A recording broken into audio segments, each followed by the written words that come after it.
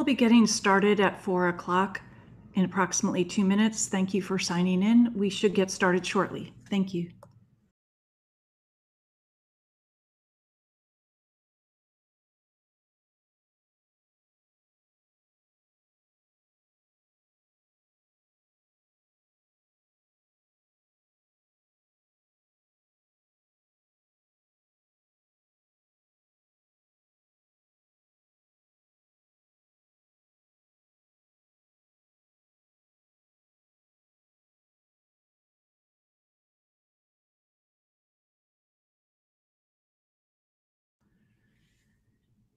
Good afternoon. If I could ask all of our panelists to take their places, please, so we can get started promptly at four o'clock. I'd appreciate it. Thank you.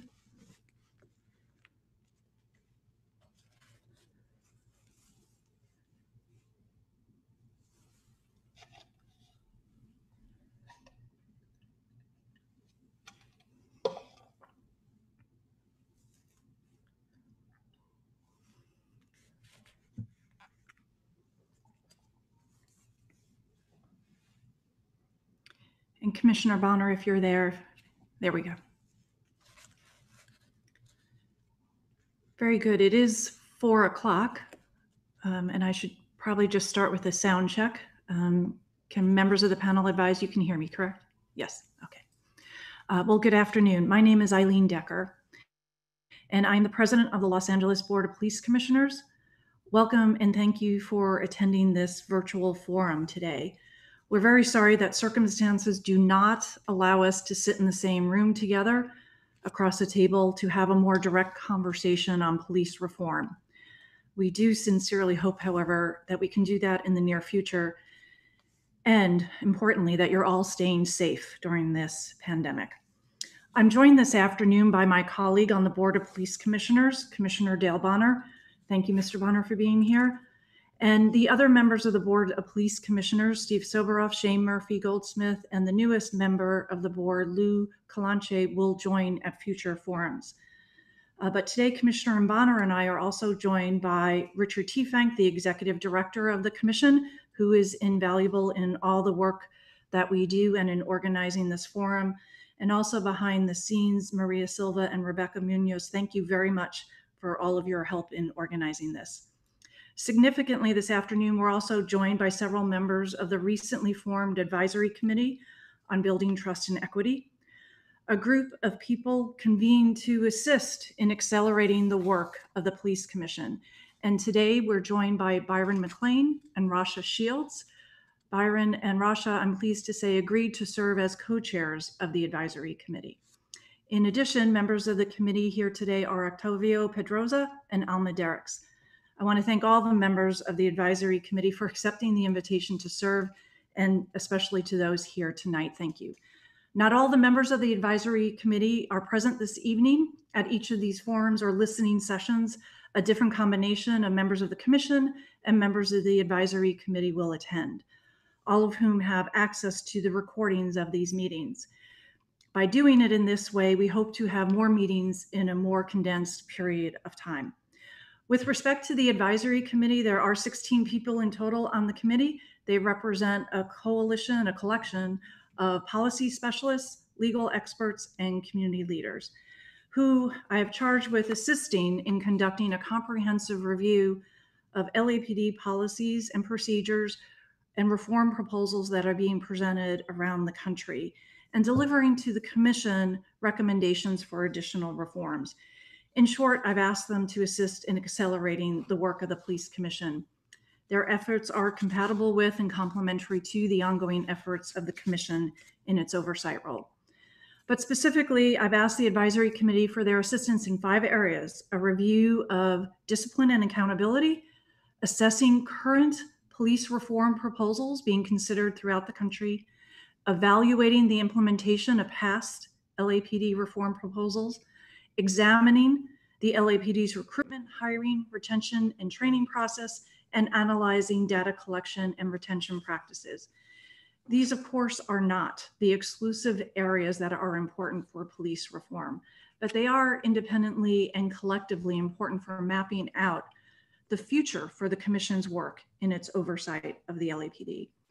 And these are areas that I believe and I certainly hope are areas in which significant progress can be made in the months ahead.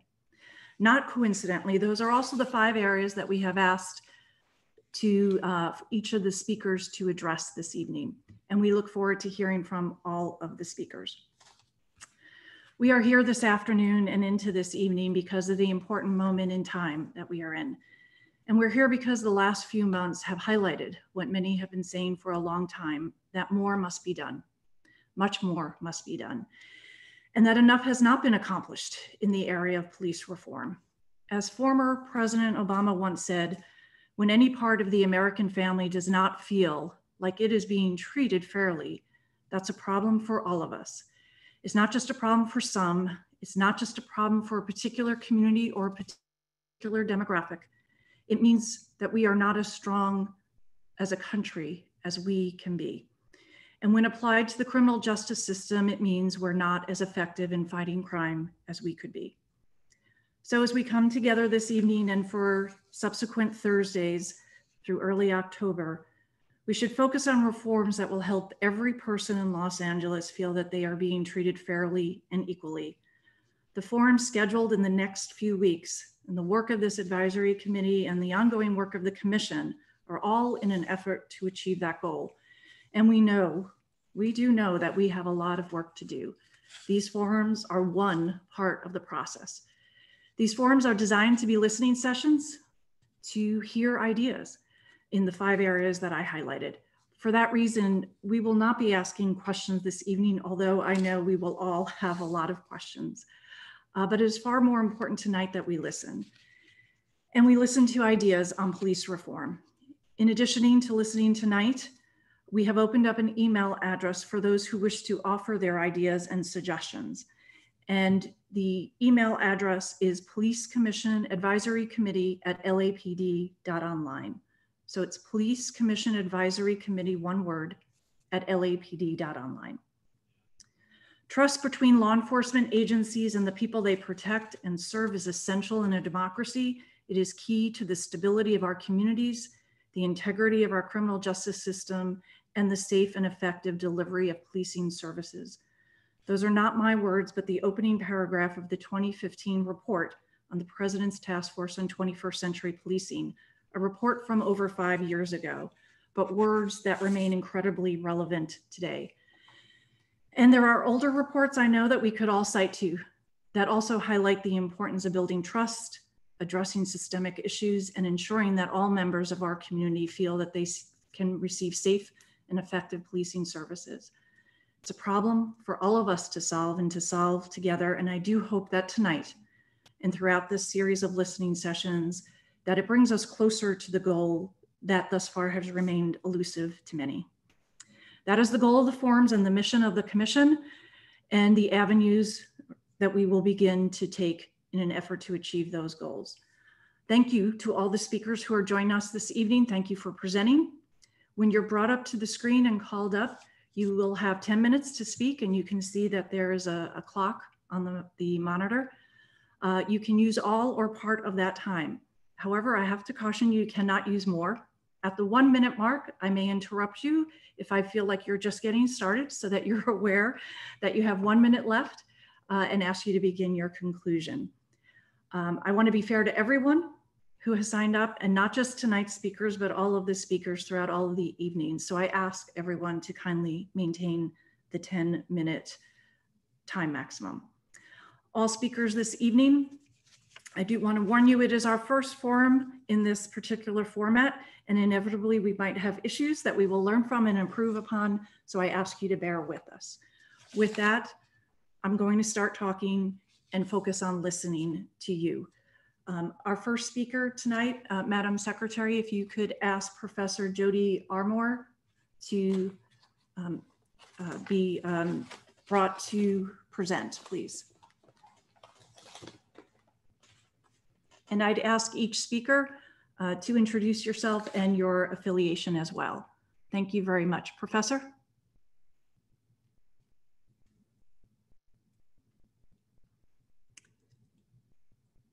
And Madam Secretary, if you can assist the professor in unmuting his microphone.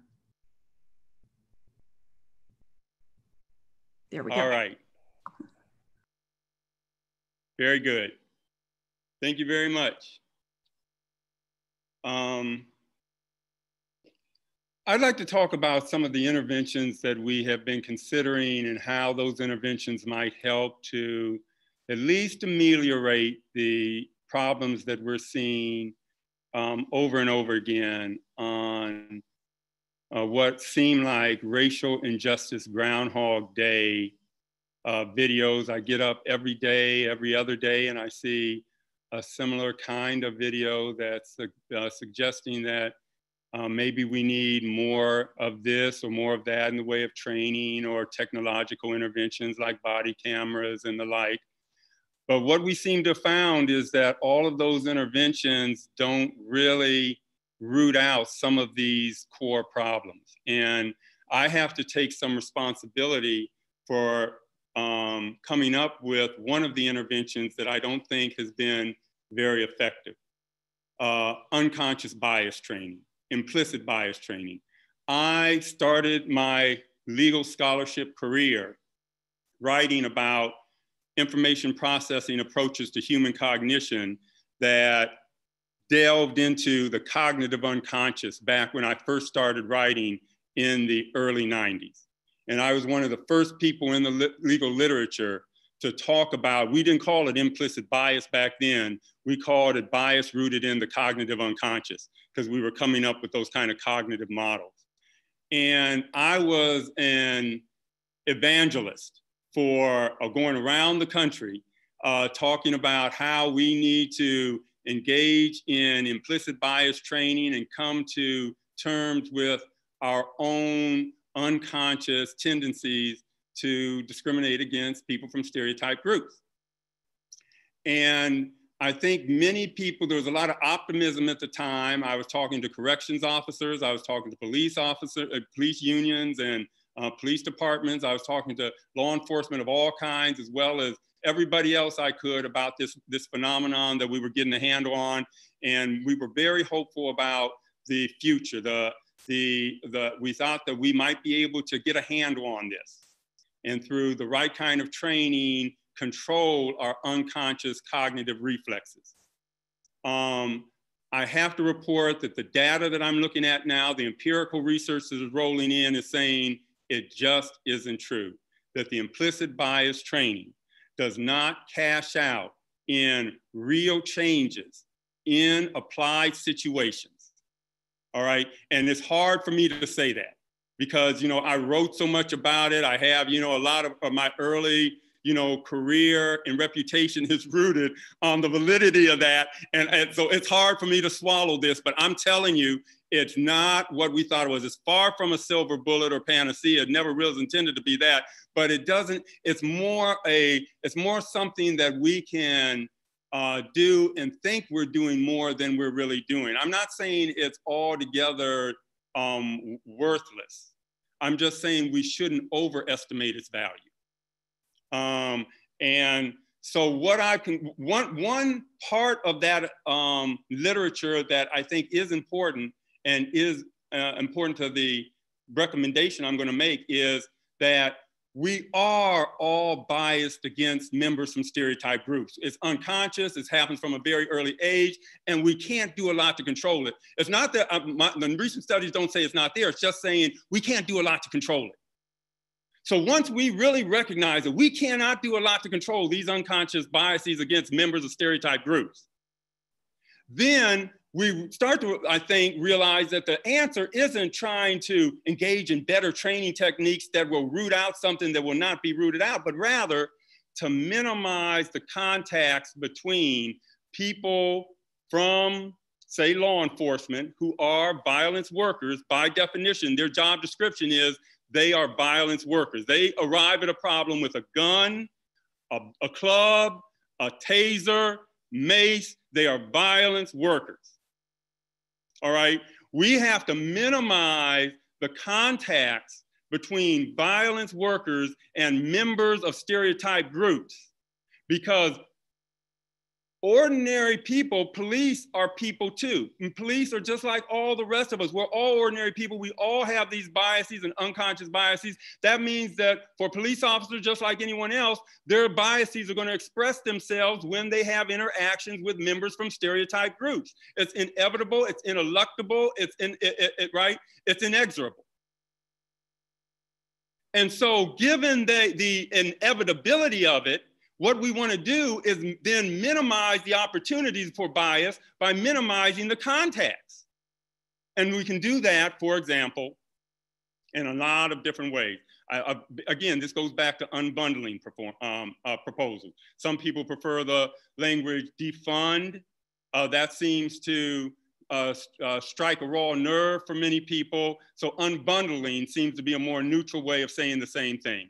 And I've heard a lot of, I'm a, I'm a board member on an, a, of an organization called LEAP, Law Enforcement Action Partnership. And what they are, both current and former police chiefs down to rank and file folks who have said, you know, a lot of times the problems that are created between the police force and the citizens is we're given bad laws to enforce. For example, when we're given marijuana laws to enforce, that generates a reservoir of resentment between us and the community uh, that's unnecessary. And so they've, they've come in and they were strong in moving, going around the country, speaking as law enforcement in favor of marijuana legalization, recognizing that they were trying, the, the important way to start to build trust between police and the, and the community is to stop having them enforce policies that unnecessarily generate resentment between the community and police. Give you some other examples. There are lots of such policies, right? Um, broken windows policing the whole philosophy you know we're going to crack down on the smallest things so that you know because from small acorns mighty oak trees grow. So we got to nip it in the bud right was the whole philosophy. Again been empirically falsified. I can go into the literature. That was it was never really a very sound theory. It has been politically falsified in all kinds of ways.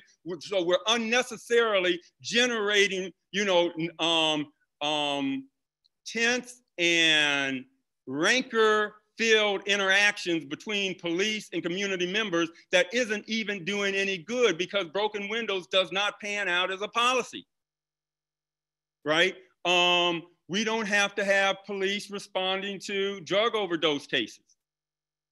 Um, we, we, we have other professionals that can respond to that um, drug problems generally uh, when it comes to mental health um, you know, we can minimize the contacts, have um, um, mental health workers intervene. Um, try to, even when it comes to traffic, you know, we need to start traffic stops. You know, uh, we just had an incident in, in LA that all you know about in which a guy, I guess, you know, uh, a, a guy's uh, was uh, in a, a, violation, a code violation for his vehicle. His vehicle was his bicycle, okay? And now he's dead. So there are a lot of laws, and this is what Law Enforcement Action Partnership LEAP, I think, is very uh, uh, uh, insightful about.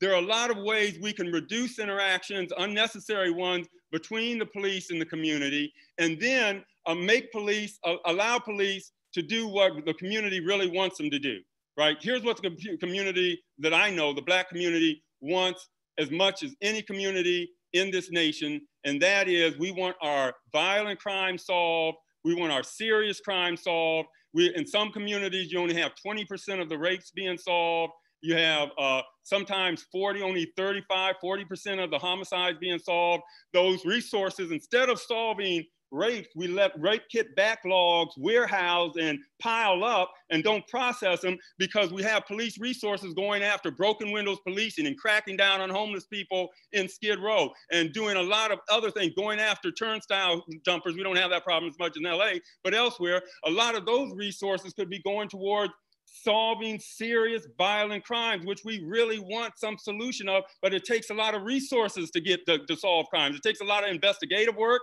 It takes a lot of effort, right? And so we can make ourselves safer by unbundling, minimizing the contact. We can minimize bias by minimizing the contact, give police good policies to enforce that don't unnecessarily generate you know resentment between them and community members and have them do what the community is crying out for. Help us solve these serious crimes, these murders and rapes and violent assaults, right? That's what we really want and need. And, and I think we can come together on that. Thank you. Thank you very much, Professor. We appreciate you taking the time today to join us and to share your thoughts. Uh, very important. Thank you so much. Uh, and um, we'll uh, now say goodbye to you, sir, and, and ask the next speaker to come up. Um, and the next on my list is uh, Daryl Good, Madam Secretary. Again, thank you, Professor.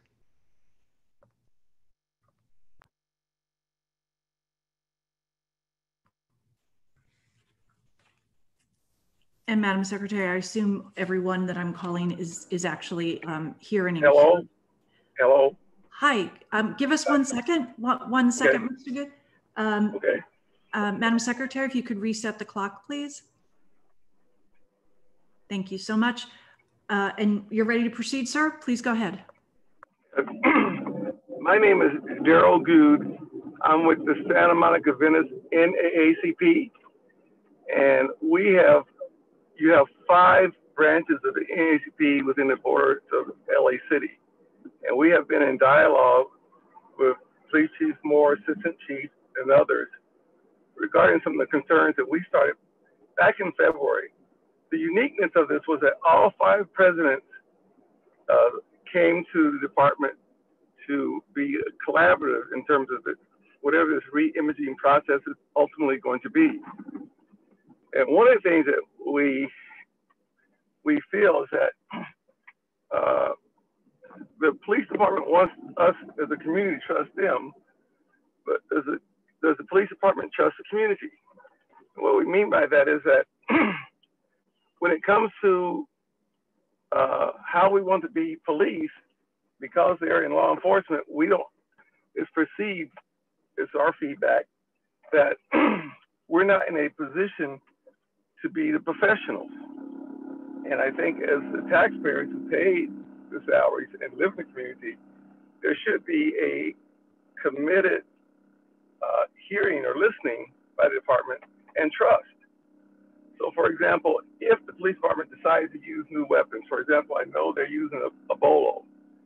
Now, that's something I know they use in Argentina to catch cattle. But there's a weapon you, they're uh, experiment deploying. They're uh, not going to deploy it from my information because there was some uh, uh, circumstances where it didn't work the way it was supposed to work. If the police department would trust the community when they bring on these new technologies or new protocols for policing, they need to be aware that the community needs to be aware how they want, what kind of instruments are used against us. Uh, we have some concerns with, uh, we had an issue in Santa Monica. We're Santa Monica, but other half is I'm Santa Monica, which is a city, and Venice is also a part of LA.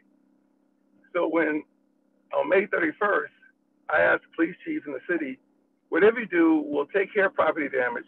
Just don't beat the hell out of people because we don't want to go through that again in our city. On Juneteenth, we contacted uh, Commander Booker and, and requested the same thing, and said, I'm Monica PD work with us to make sure anybody coming from the area, they would alert us. The outcome was that we didn't have the violence that we witnessed between the community in LA, the rest of LA, in these two areas. I think there needs to be more time developed for crowd control if it's necessary, which means if their officers are well trained, and I, from what I've seen, because of my experience, I'm a retired administrator from Monica College dealing with students, and I spent a lot of time in Spain. But most of the officers, I think you hear, are not versed and feel comfortable in what they're doing. So when they get scared or intimidated, they resort to force, and that's because I think there needs to be more training where they have more confidence. We're meeting with the chief because the community is very concerned. We we watch uh, an officer watch a uh, police officer beat the heck out of a young man in Boyle Heights, and the other officer did nothing to intervene, and he had his back toward him. in boxing, that would be considered rabbit punching, which is very dangerous and could be a, a deadly blow hitting someone from behind. That's not something we want the department to see. We brought that to the department's uh, um, attention, and we really need them to really address the culture that is uh, the community doesn't understand. You don't know what it is to be police work. Uh, and I've heard officers say, I've approached them, sometimes they mistake me for a retired law enforcement. And I identify myself as NAACP. But I said, well, speak, freely. I'm not going to use it against them. But sometimes they feel, officers that are non African American I spoke to, that black males are more aggressive and more hostile and use more, they curse more than anyone else, and especially in the, that South Central and Watts area. That presents a dangerous situation. A police chief once told me that whenever there's an interaction by the public and law enforcement, it's always an armed encounter, uh, what the last speaker was speaking to. Because whenever you have one person armed, that at any time can go sideways, as we've noticed. We've also seen that from 68, when I was a youngster, and now here we are in 2020, we have a whole new young people, 18 to 25, being uh, mentally brutalized, where they're you're going to have a whole new generation carrying these horrible feelings forward. The same things have been cared before 65, 68, and on forward. So our vision in working with the chief as the NAACP is to look at this and how do we get the police department to trust the community, which means when they want teachings, I can't see the, for some reason I can't see the timer. But anyway. Um, Sir, you have oh, about four minutes. You have about. Okay, there we go. I see it now.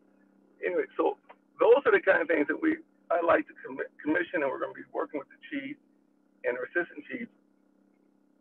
These things are very crucial. When in '92, when they invited us as a group, this goes back sometimes at uh, the parking lot at Dodger Stadium. They were going through drills with LAPD. I mean, they marched, they did a couple moves, and then they went back. The discipline is just not there to handle the community when it's a crisis situation. And sworn officers, they need to be vetted. We need to look at those who don't belong there, you know, in terms of their mentality and how they relate to the community. And not just, and particularly those in the community that are, quote unquote, the least of, of us, that are marginalized, socioeconomic. And when we allow folks to brutalize them, it's a reflection on all of LA City. So to that end, we've, as a, the five branches, that's San Pedro, Santa Monica Venice, Hollywood, Beverly Hill Hollywood, uh, Northridge, and Los Angeles. And so we're committed to working with the department, but the the commission has to understand that when you continue to having these concerns, then it's, and when you have the protectively, when you have leadership that's been the mayor African American, you've got city councilmen. The coloration has not impacted the culture enough in the LAPD to be responsive to the black community. So I think as commissioners, um, and I'm not, I, I, I can't say, I, I, don't know what your responsibility is because in truth I've read it, but there needs to be a lot more intervention to dissuade and, and to make it a more engaging process so that officers, once you put on that sworn, uh, that uniform, you're not swayed. And the community is just in some ways responsible because the media, the cop shows, there's a whole skewed perception of what policing should be. And I think that's where the honest conversation needs to take place, and uh, and I appreciate Chief Moore extending uh, his command staff to work to help us develop with the rest of the community. But this is a we're at a critical time, and with gentrification and brutality, we've had over a million people exited LA City going to Palmdale, Lancaster, Riverside uh, because of socioeconomic. And when those pressures are coupled with educational or lack of educational opportunities, those are our concerns. And we don't need law enforcement being part of the program. And I'll end that on saying um, we're also doing the same thing with LASD, uh, Sheriff Department, and we're we're pleased that we don't have the same issues with LAPD as we have with LASD. So I appreciate your time and listening, and that's just want to let you know what we where we are coming from in ACP in Los Santos City area. Thank you very Thank much. Thank, thank you for coming and sharing your thoughts with us this afternoon. We truly appreciate it. Thank you very much. Okay, thank you. Uh, Madam Secretary, thank you. And if we could uh, next bring up uh, Rachel Rose, I, I believe it's Lucky, um, and I apologize if I'm mispronouncing your last name.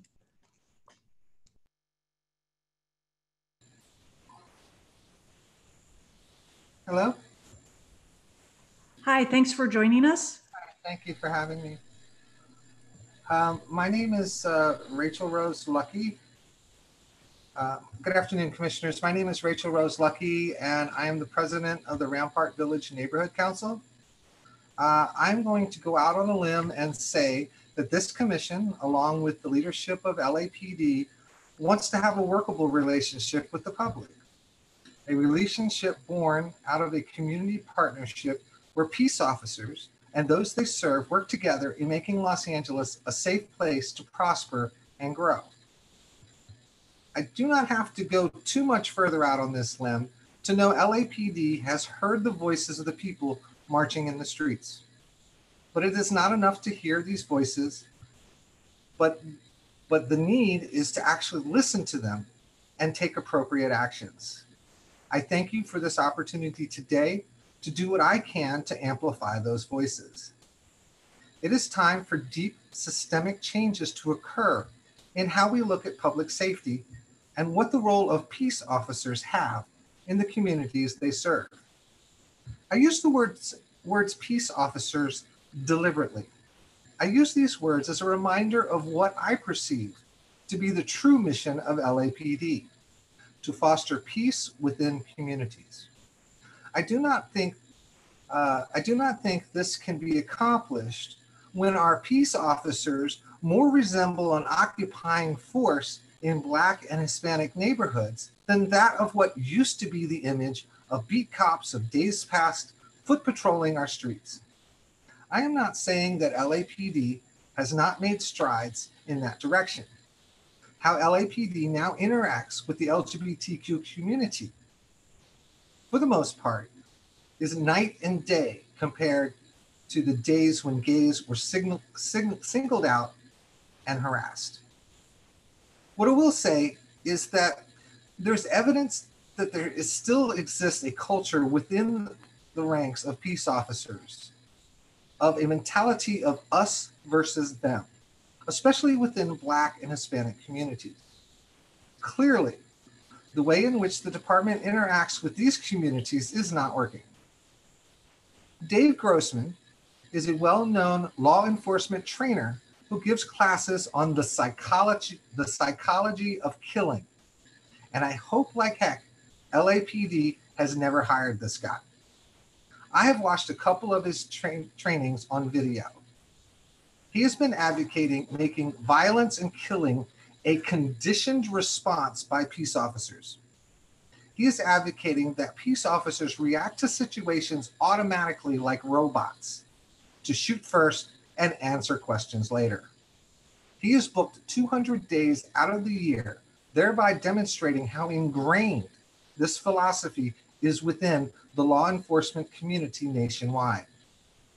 During a training of military personnel, he proclaimed at the top of his lungs to the recruits assembled now you begin the process of orchestrating the instruments together in a symphony of death and destruction. Is that the kind of mentality we need our officers walking around with? Look, using deadly force on unarmed citizens is wrong. It is just plain wrong. When someone is unarmed, or even worse, already in custody, they pose little risk to life. And to me, if peace officers cannot subdue and restrain an unarmed person without killing them, then there is something horribly wrong with the training officers are receiving. And when an unarmed person is killed by peace officers, who is it that holds them accountable?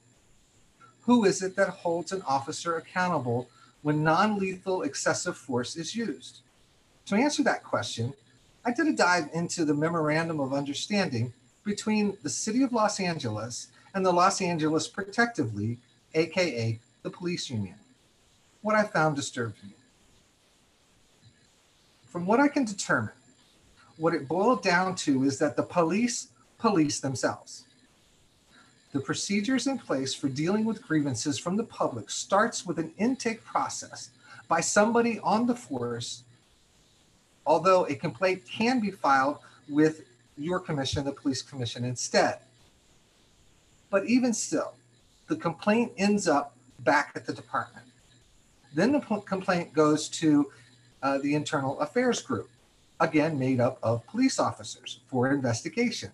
Or the complaint can go to mediation facilitated by an LAPD supervisor who, from what I can tell, is also a peace officer. The final decision as to the dispensation of, of, of grievances ultimately seems to be made by the chief of police. It is no secret there is an unwritten rule within the ranks of peace officers of protect your own, or at least there is a public impression this is true.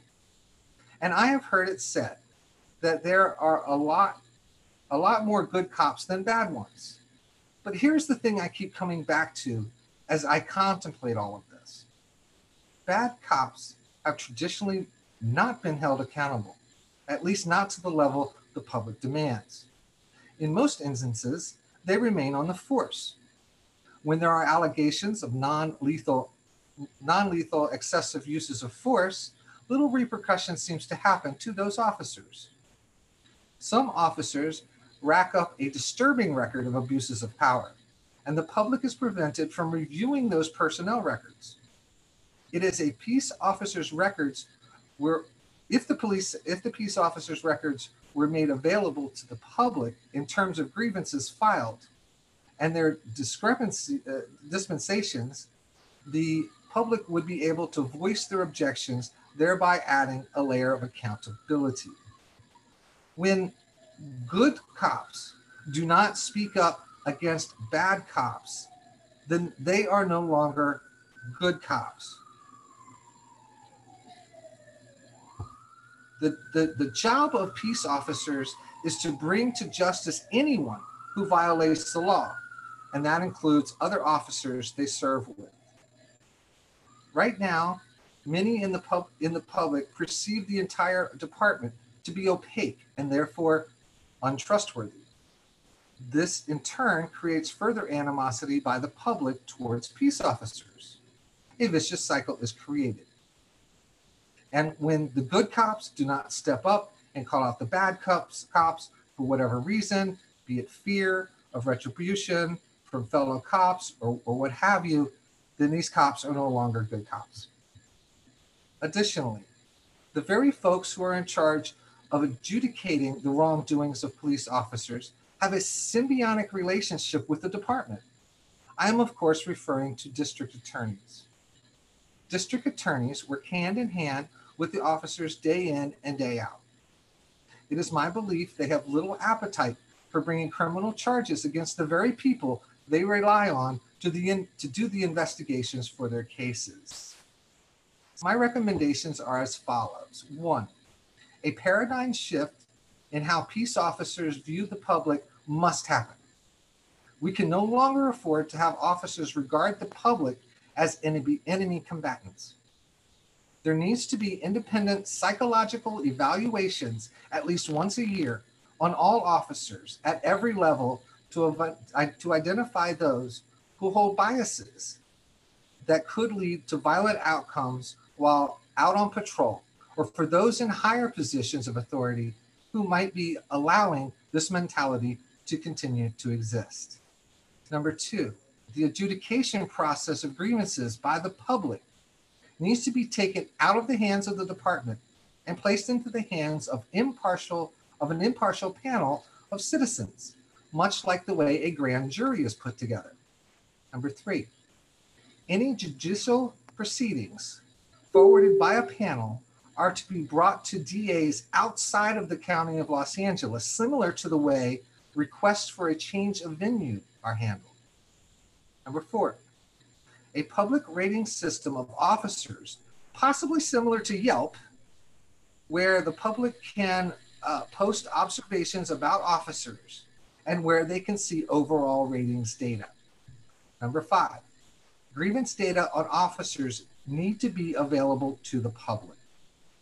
To have summarize, 30 seconds. Thank you. to summarize, the police should not be policing themselves. Prosecutors should not be from LA. Transparency through open performance reviews of complaints must be made available to the public, and mental evaluations need to be performed annually. Until these items are put into place, in my mind, the public will continue to be untrusting of our local law enforcement.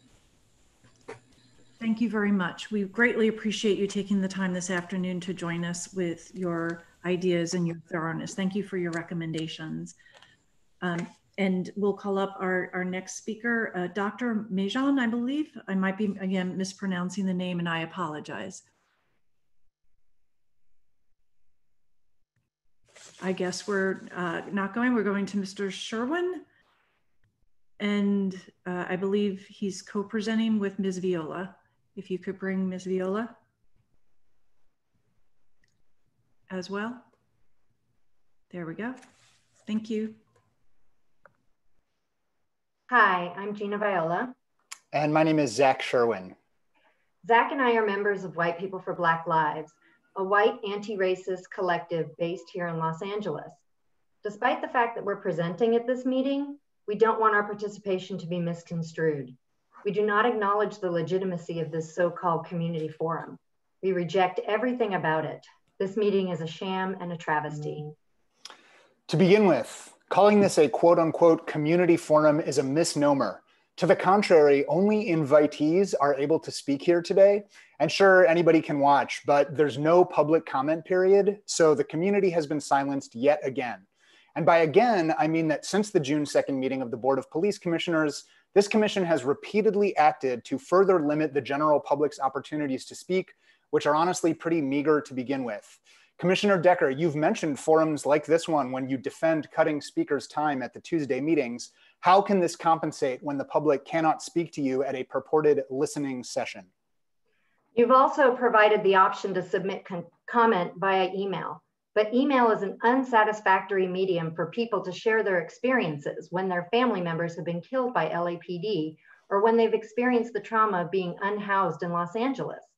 The suggestion to email comments about these experiences is an insult compounded by the fact that emailed comments are not published online, either as part of the commission's agenda or in any other public record. Also, you barely publicized this event. There was no mention of it at the commission's meeting this past Tuesday. As of 4 p.m. yesterday, it wasn't even listed on your website. Your outreach efforts were woefully inadequate. We also denounce this advisory committee on building trust and equity, which is yet another pretext for Mayor Garcetti to expand the size and scope of the LAPD. We've seen time and again what supposed oversight and reform of the LAPD looks like. After the Watts Rebellion, there was the McCone Commission. After the Rodney King uprising, there was the Christopher Commission, the staff of which included Commissioner Bonner. After the Rampart scandal, the city entered a consent decree imposed by the Department of Justice, which incidentally was opposed by the longest serving appointee to the police commission, current commissioner Steve Soboroff. So much lip service to reform and oversight. This commission is just one more example of it. But none of it prevented the brutality faced in recent months by protesters of racist policing. None of it prevents the ongoing murders of Black and Brown people like Roshario Mack, Wakiesha Wilson, Charlie Africa, Jesse Romero, Ezell Ford, Redel Jones, Eric Rivera, Daniel Hernandez, Mely Corado, and literally hundreds more. White People for Black Lives stands in solidarity with Black Lives Matter Los Angeles, Stop LAPD Spying Coalition, and the Los Angeles Community Action Network. Accordingly, we show up to every commission meeting in order to amplify their messages. And because we know that far too often, white people are the ones who are calling the police on Black, Brown, and poor people. Programs like Suspicious Activity Reporting or SARS and iWatch or See Something, Say Something, which encourage community members and officers to presume guilt and criminality, have a disparate impact on Black, Brown, and poor communities. It's too easy for white people to overlook the consequences of calling the police because statistically, we are overwhelmingly less likely to bear the brunt of policing's most harmful and racist outcomes. This brings us to a key point. The people most impacted and harmed by police violence have not been invited to speak here today. We'd now like to read the words of some of the people who would be presenting and testifying if they had been invited. The following was written by Albert Corado. My sister Mely was killed by LAPD in July of 2018. Two officers fired into a crowded grocery store, and their actions were deemed in policy by this commission. How can this body claim to want to work with the community when they allow officers who commit heinous acts to walk the streets? How does clearing officers of any wrongdoing build trust in communities? In the two years since my sister was killed, my family has never once been asked to speak at a police commission hearing. Mely has never once been acknowledged by this commission, and people like Chief Moore and Steve Soboroff have done nothing but side with officers, and by doing so have eroded what little trust may have existed between marginalized communities and law enforcement. It's a shame that this commission is tasked with holding officers, account holding officers accountable because it has failed to do so at every turn. The only community you serve is law enforcement and their boosters. I hope you all burn in hell, and I am going to end all of your careers. Sincerely, Albert J. Corado. A letter from the Hernandez family was written by Daniel's sister, Marina Vergara. Our family is dismayed at the lack of support from the Los Angeles Police Commission. We've tried to participate in the meetings, but we do not feel that we are listened to as participants. The Police Commission rubber stamps all the recommendation items made by the LA Police Chief. The board needs to value the community input if they are re to represent the citizens of LA. Our brother Daniel Hernandez was executed by Los Angeles Police Department officer Toni McBride on April 22, 2020. My brother was in a multi-vehicle accident collision. He required aid as a result of the collision but instead he was shot two times, fell to the ground, and then shot five more times. Two of those shots were to the head and back. The LAPD officer made no attempt to de escalate the situation. Even after that, no officer approached Danny to check on him for almost two minutes. Officer McBride was the only officer to fire her weapon, while other more seasoned officers around her did not. As a Mexican immigrant family, we have suffered police brutality at the hands of the Los Angeles Police Department. Where does a family turn when a family member is killed at the hands of law enforcement? I never imagined this could happen to us, a family made up of law abiding citizens. I was forced to take a leading role to advocate and be the voice for my family.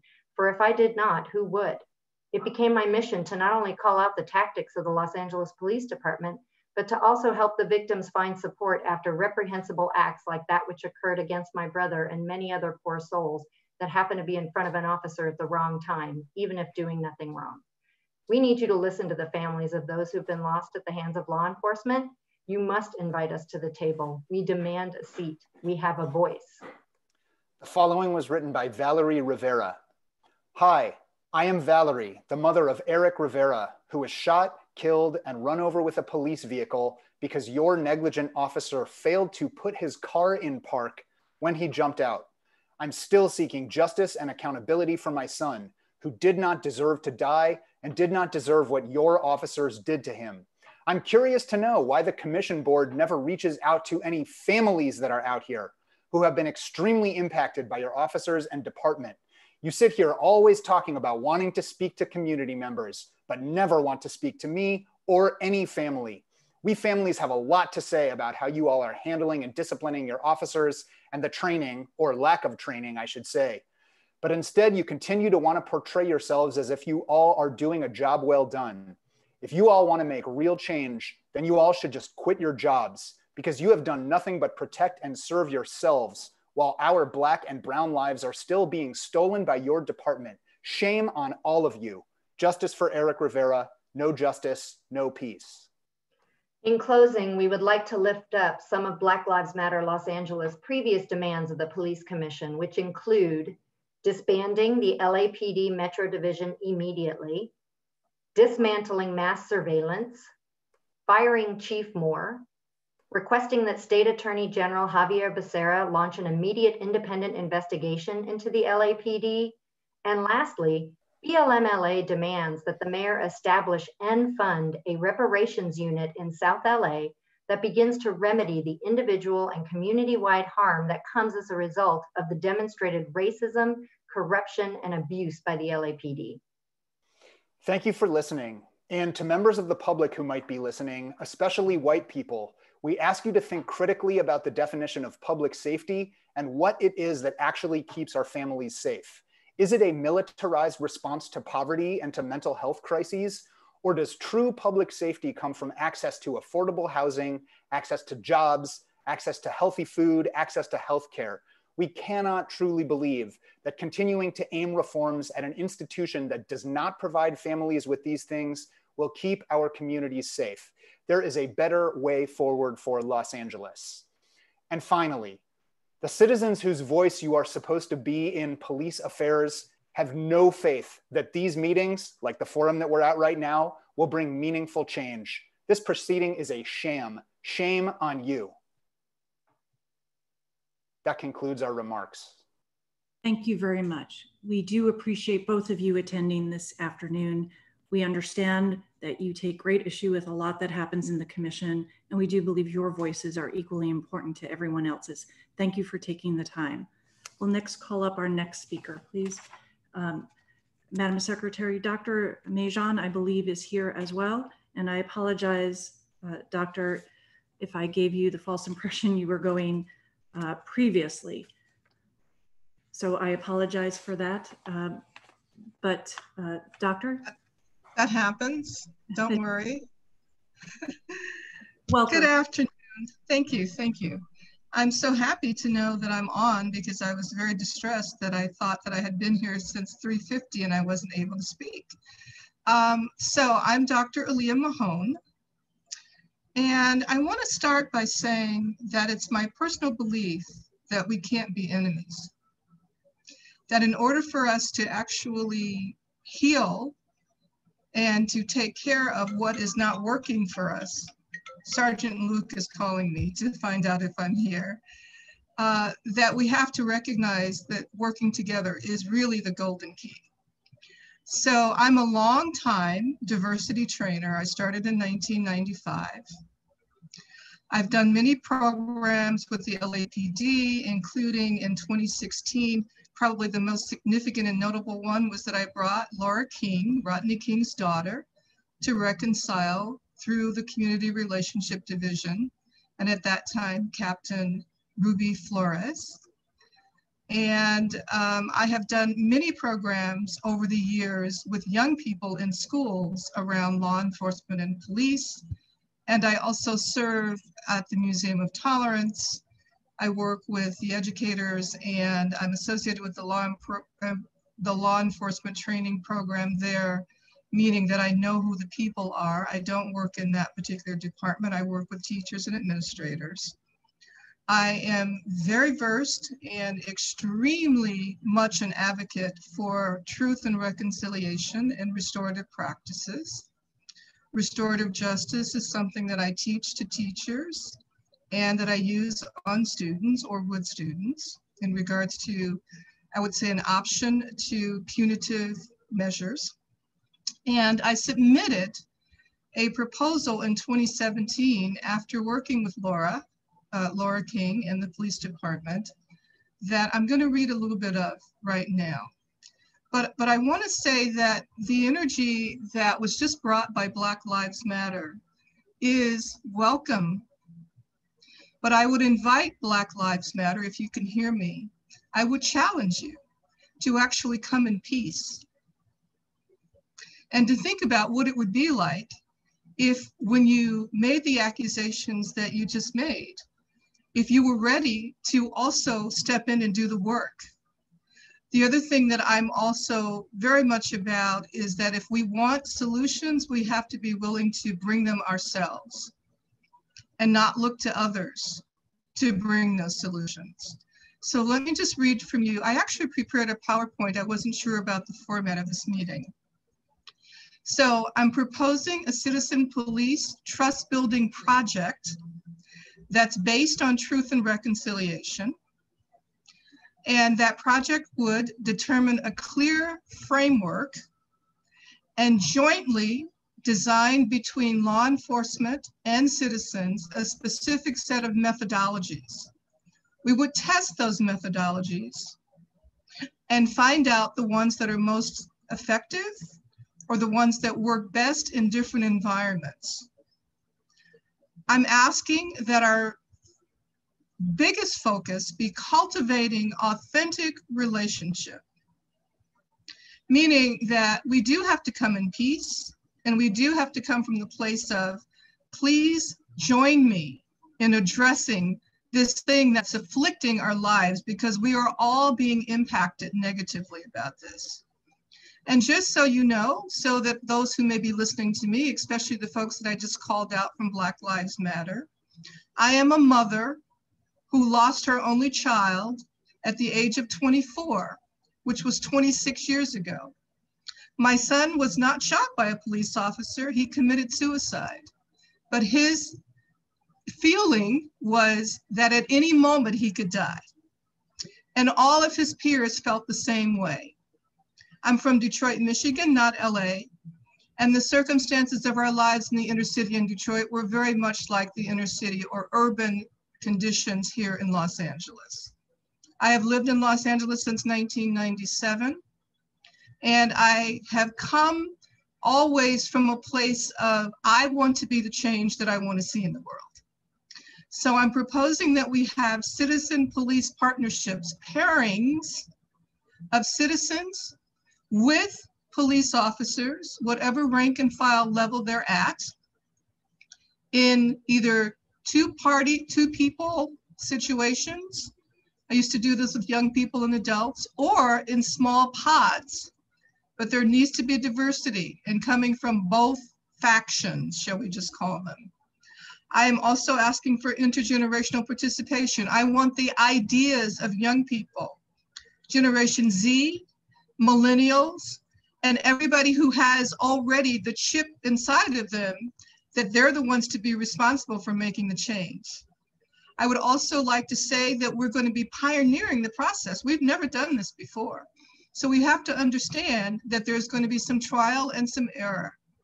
But in order for us to build trust, we have to see ourselves as future builders working together. The other thing that I would share is that the way that the work will be done is that we have to start by identifying the specific goals of the project. We have to think about that together, not me, not me outlining it, although I can certainly help you with the start of that foundation. We have to think about what we want to do and then try it out.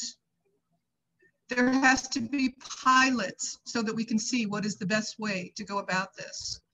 I'm proposing a brain trust, which is made up of planning sessions so that there's equal footing so that everybody who wants to be a stakeholder can show up as such and they are allowed to contribute. But when they contribute something, they're also responsible for being a part of bringing it forward. I'm also proposing that there be three different formats, that we do some things, well, we can't do them anymore because of the pandemic, but that we do some things virtually, that we do some things in person, that we do some things in schools, that we do some things in community centers, that we do some things in faith-based organizations, so on and so forth. We're going to try a lot of things out in my proposal. The guiding vision of that proposal is that we are seeking to listen to each other with new ears and to learn to trust each other in ways that have not yet been explored. We're going to, I'm repeating this again so that I can be redundant because I want to be. We have to take responsibility for creating these solutions, each of us. because we are all afflicted by police involved violence. We are all afflicted by mistrust. We are all afflicted by whatever the breakdowns in the relationships are that have given rise to what we have to face and see on the news far too often. We need to not only do this, but harvest those ideas so that we can share the best practices and continue to evolve them over time. So my last statement is that truth and reconciliation is about knowing that there's been a wrong, knowing that things have been negative, dark, hurtful, harmful, deadly, whatever the words may be, and to say, this is the truth of our circumstances. We're going to start from that truth and we're going to build to where we really want to go. I'm going to forgive you once you tell the truth so that I can work with you as my partner and collaborative associate. And we are going to collectively take responsibility for making things better and safer for us all. I also want to mention that I happen to know that police officers are also harmed and killed because of the circumstances of the situation that we're faced with. It's not just citizens, and yes, there are some citizens, and there's definitely senseless violence, and there's way too much death. But police officers are also being threatened, and I want that to be registered as a part of this conversation. So I don't know what else I can say other than um, I am here if you need me. I am happy to plan with others. I have actually submitted this proposal in a long format three years ago to some folks then who I was collaborating with, somebody now who you know is the police chief of San Francisco. He was deputy, uh, he was deputy chief of police. Bill, Bill or William Scott was one of my partners back in the day. Uh, Ruby, whose last name is now Flores again. She's commander, is also somebody who knows me well. I am not a stranger to the LAPD. So thank you very much for allowing me to be here.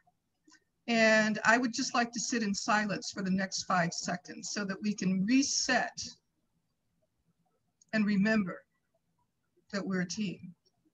Thank you very much, Doctor. We appreciate you taking your time this afternoon to join us um, and to share your thoughts on these very important matters.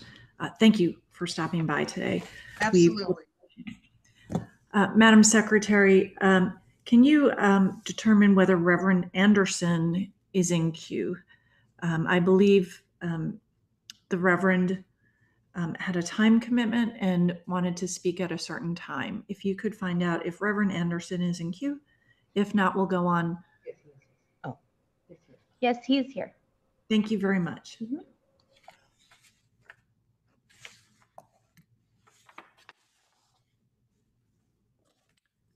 Reverend Anderson, thank you for joining us today.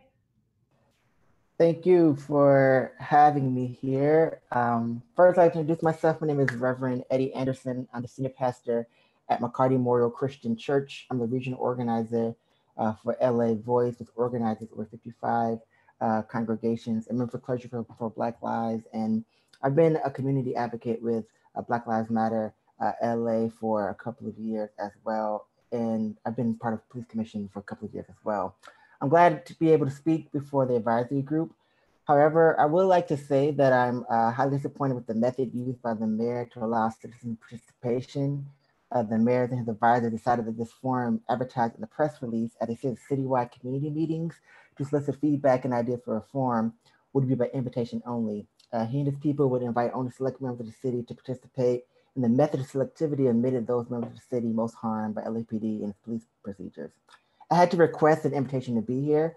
I had to invite myself. BLMLA uh, told me that this meeting was happening, and I uh, had to invite myself to come to share some ideas with you.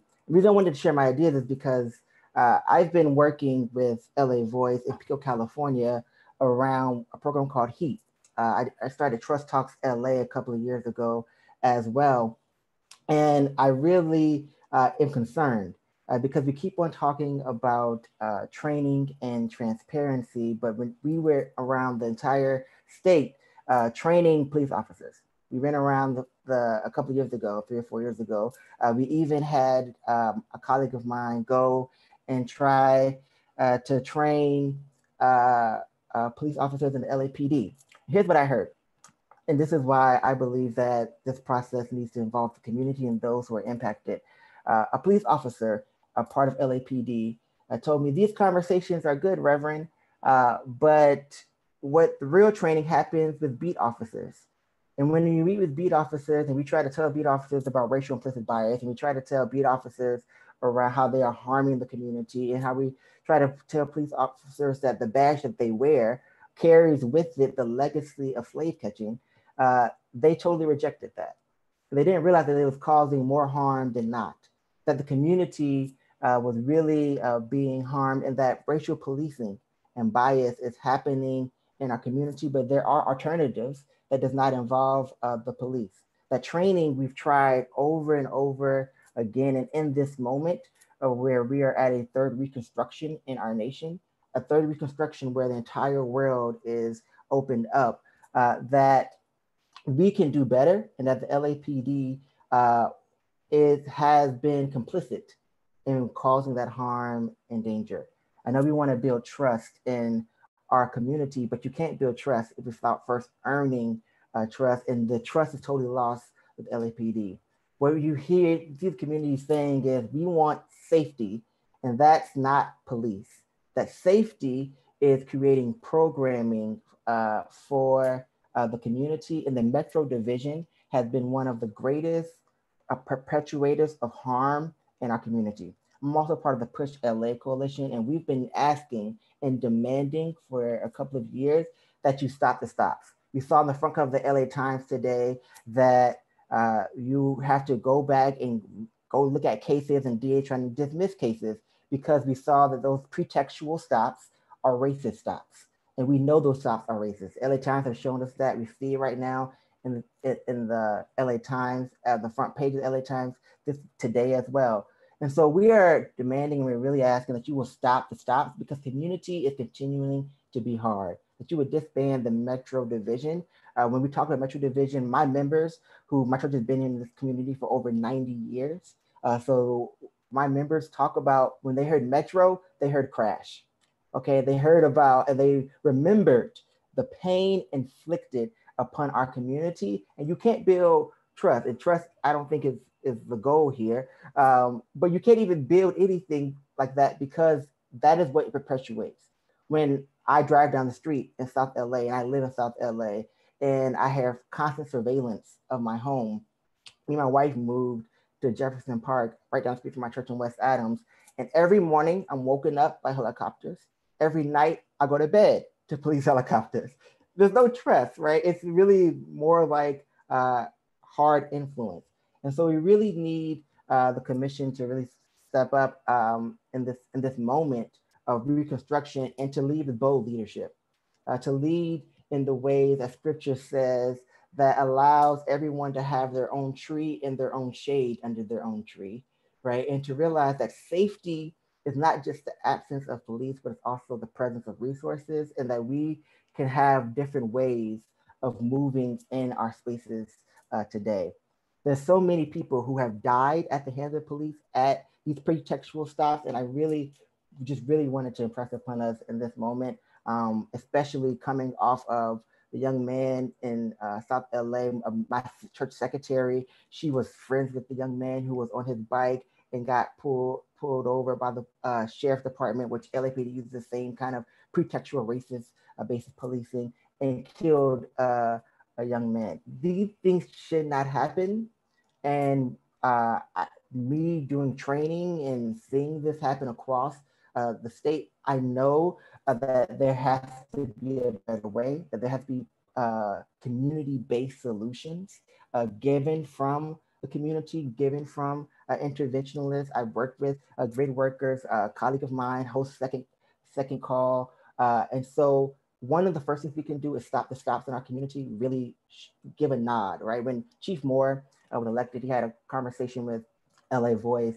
Uh, and we told him in that meeting, before he was even sworn in, uh, that he has to realize that for the Black community, that badge often carries harm, right? And what you needed to do then was an apology. Well, now an apology is no longer uh, needed because we've seen across the nation that we are right sizing um, police departments by shifting budgets. That we are reinvesting in the community, and that the real way I think to show faith in the community is to stop the stops and reinvest in services that are based in the community uh, to make sure folks know uh, what is going on. That is what uh, makes us safe. I have too many of my uh, parishioners who are in their 90s who call me and they say to me, uh, Pastor, why are you all fighting the same fight that I fought when I was your age?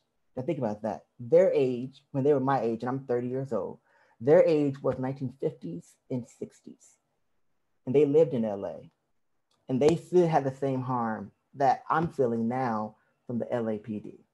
And so the question that we really have to have is what does bold leadership look like in this moment? I know as commissioners, uh, you all have that. Uh, I'm thankful for BLM LA and the way they've kept on showing up at this commission for letting me know that this meeting is happening, for giving you alternatives uh, to public safety and showing you how we can fund uh, services to bring the families who have the pain, who have to endure uh, losing. I have a member of my church who runs the victim services uh, unit for the county, and she talks about the pain, and I see the pain with the families uh, on the streets with Black Lives Matter Los Angeles as well.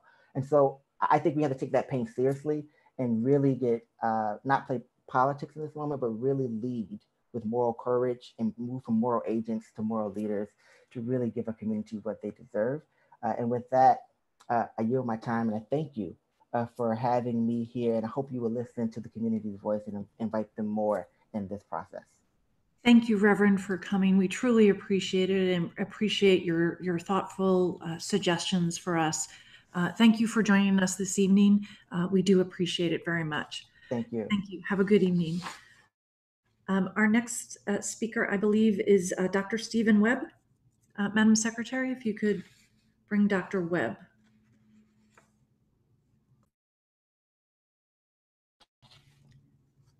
Good afternoon, Dr. Webb.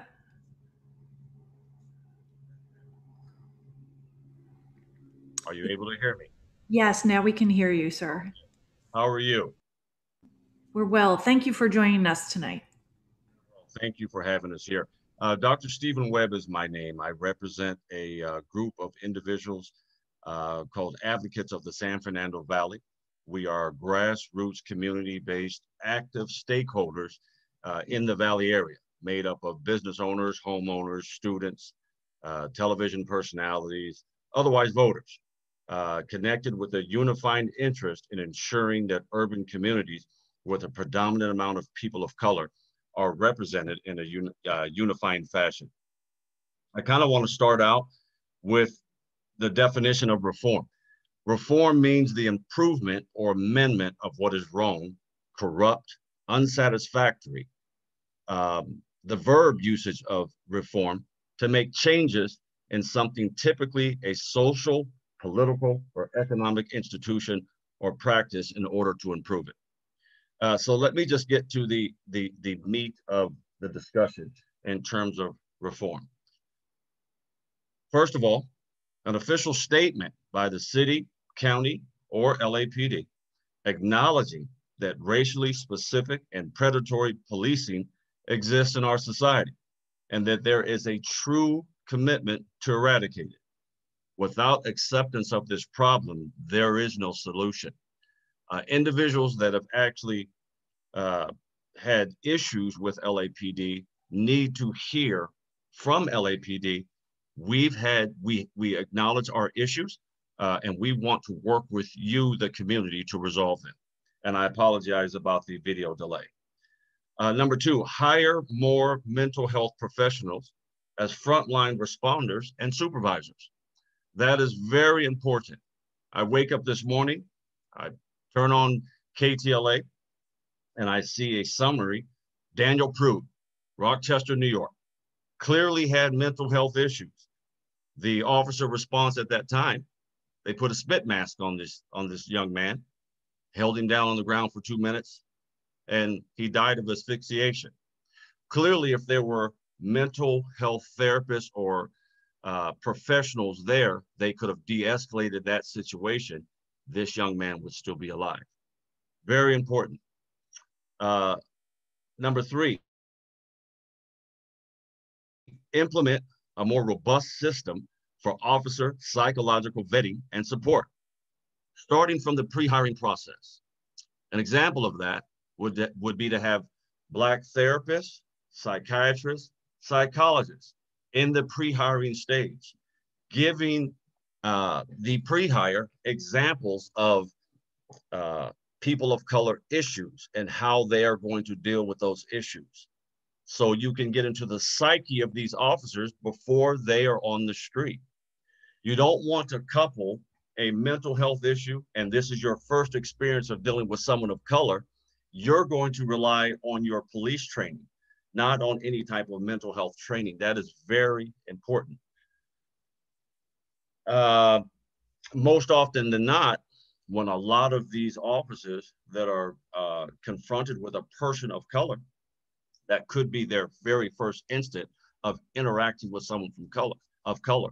Say, for example, if you live in Apple Valley and there's not a large uh, population of African Americans there, and you come on the force and you're patrolling South Los Angeles, Compton, and you're dealing with an influx of our people, uh, if you don't know the culture, if you don't know the dynamics, you're going to focus on your police training and not people, human beings as a whole.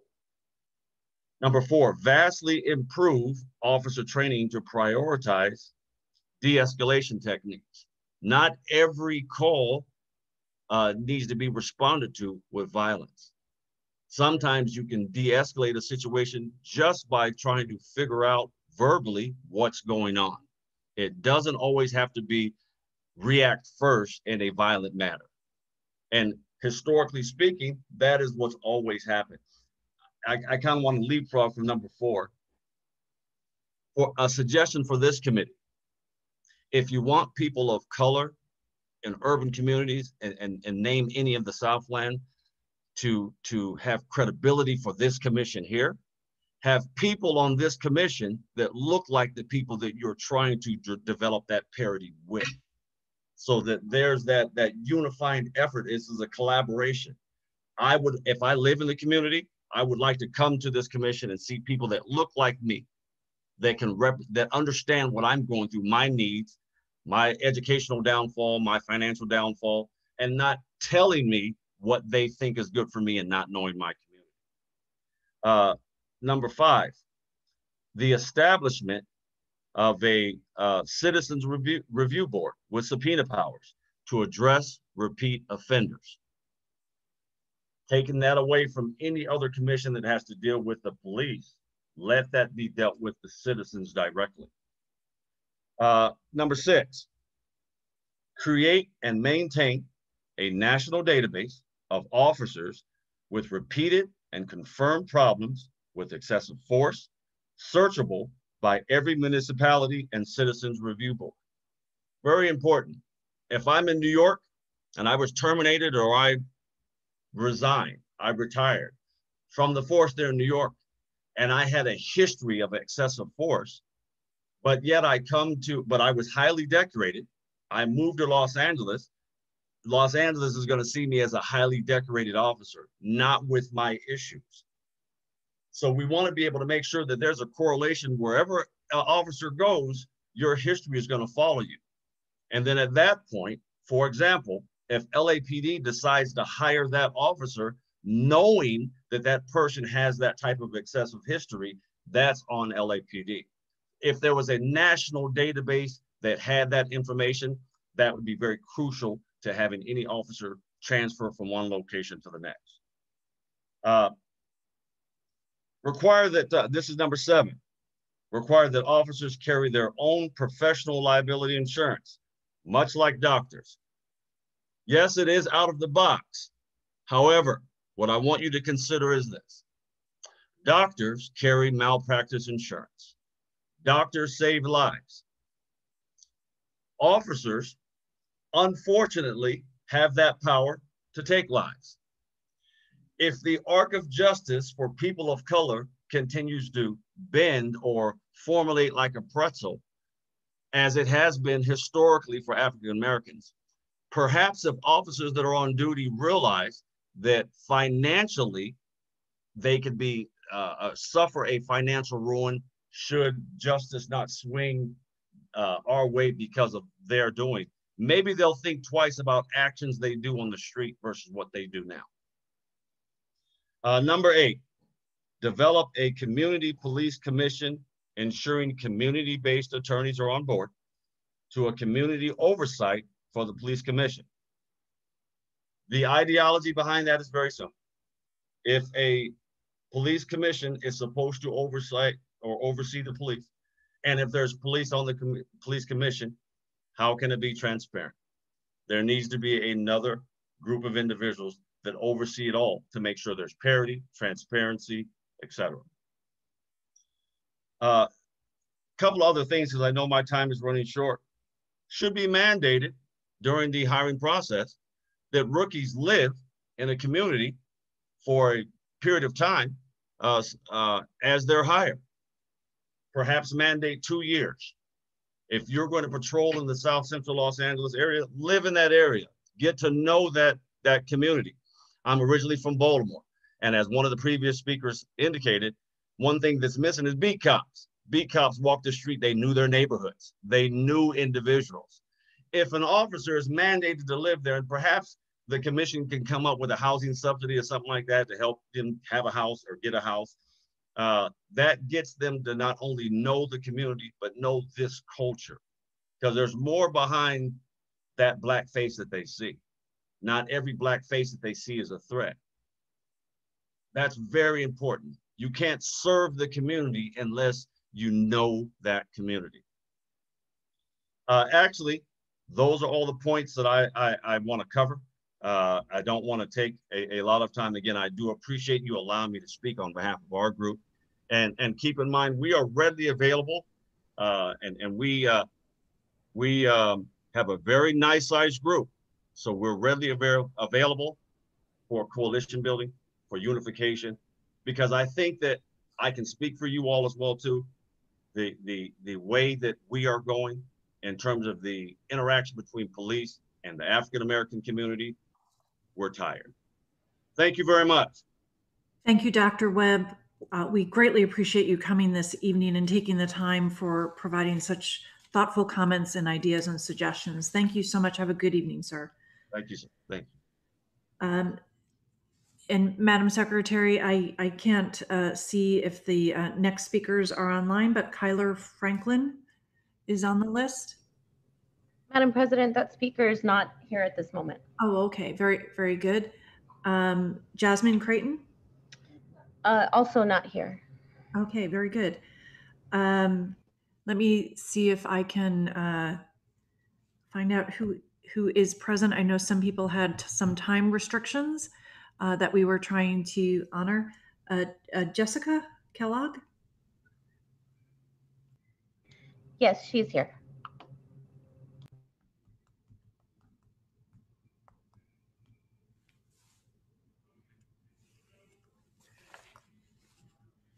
Uh, Ms. Kellogg, are you on the line?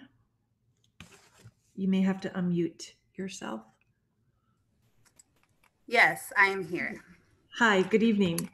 Good evening. My name is Jessica Kellogg, and I'm a Los Angeles native as well as a city employee. And I will talk about the, well, my suggested revision to the Board of Rights um, as it will be coming up in 2021. In 2017, Angelenos approved a plan that sought to enhance discipline and accountability within LAPD with the passage of Charter Amendment C. What was considered a controversial ballot initiative allowed for the Los Angeles City Council to approve Measure C in April 2019, giving civilians a greater role in how police officers are disciplined for serious misconduct. Officers facing discipline now have the option of having their cases heard by an all civilian panel, one of the most significant expansions of civilian oversight in decades. In May 2019, the Police Commission revised the qualifications for Board of Rights hearing examiners and set a recruitment plan in motion, all of which will be up for review in 2021. Looking ahead, I will discuss how we can build upon the current discipline and accountability system as we strengthen the Chief of Police's authority and the public's oversight of policing in Los Angeles. In order to increase accountability between the police agency and the public, public perception must be addressed. The, the chief of police is seen as having the authority to exercise discipline as necessary.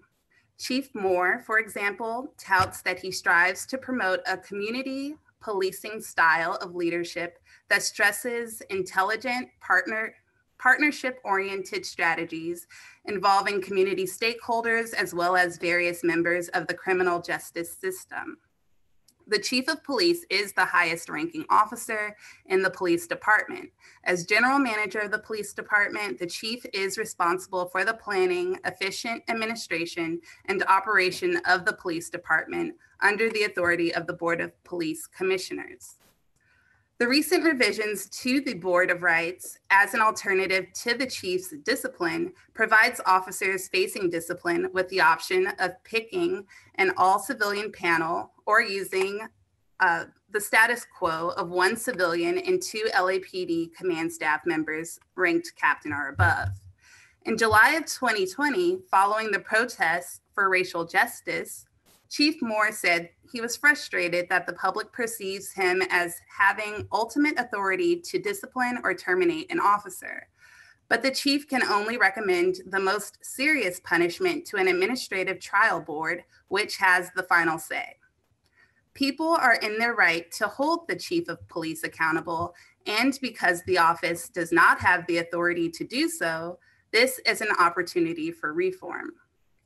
Changing these rules would require a change to, to the city's charter, which set up the LAPD's administrative trials for officers known as boards of rights, where a three person panel weighs evidence and decides on punishment up to termination. A board can reduce the recommendation of the chief, but cannot make penalties more severe. Officers can appeal a board decision through a legal challenge in Superior Court. Within the last year, Moore reportedly sent 26 officers to boards of rights with recommendations that they be terminated, but in nine cases, even after the board found that the officer was guilty of misconduct, it reduced the penalty and allowed the officers to keep their jobs. In this instance, the chief of police has no ability to do anything else to that officer, but to allow him or her to remain with the workforce, restricted to assignments that have limited interaction with the public and little chance of leading to courtroom testimony. Boards of rights are often multi day trial like hearings in which the panel members listen to witnesses, consider evidence, and sometimes hear from an accused officer directly. Almost all of the proceedings are kept confidential, and the names of the accused officers are rarely made public although an officer can request that his or her hearing is open to the public. I propose that the chief of police and citizens be given maximum power to hire and fire officers with the chief of police first providing recommendations for punishment or termination and the option of the officer resorting to a board of rights comprised of civilians who are supported by an advisory board made up of subject matter experts including a representative from the city attorney's office, a commanding officer, and a specialist in human resources, personnel, or labor relations. These civilians would be defined as City of Los Angeles residents who are community leaders, stakeholders, research analysts, scholars, advocates, etc.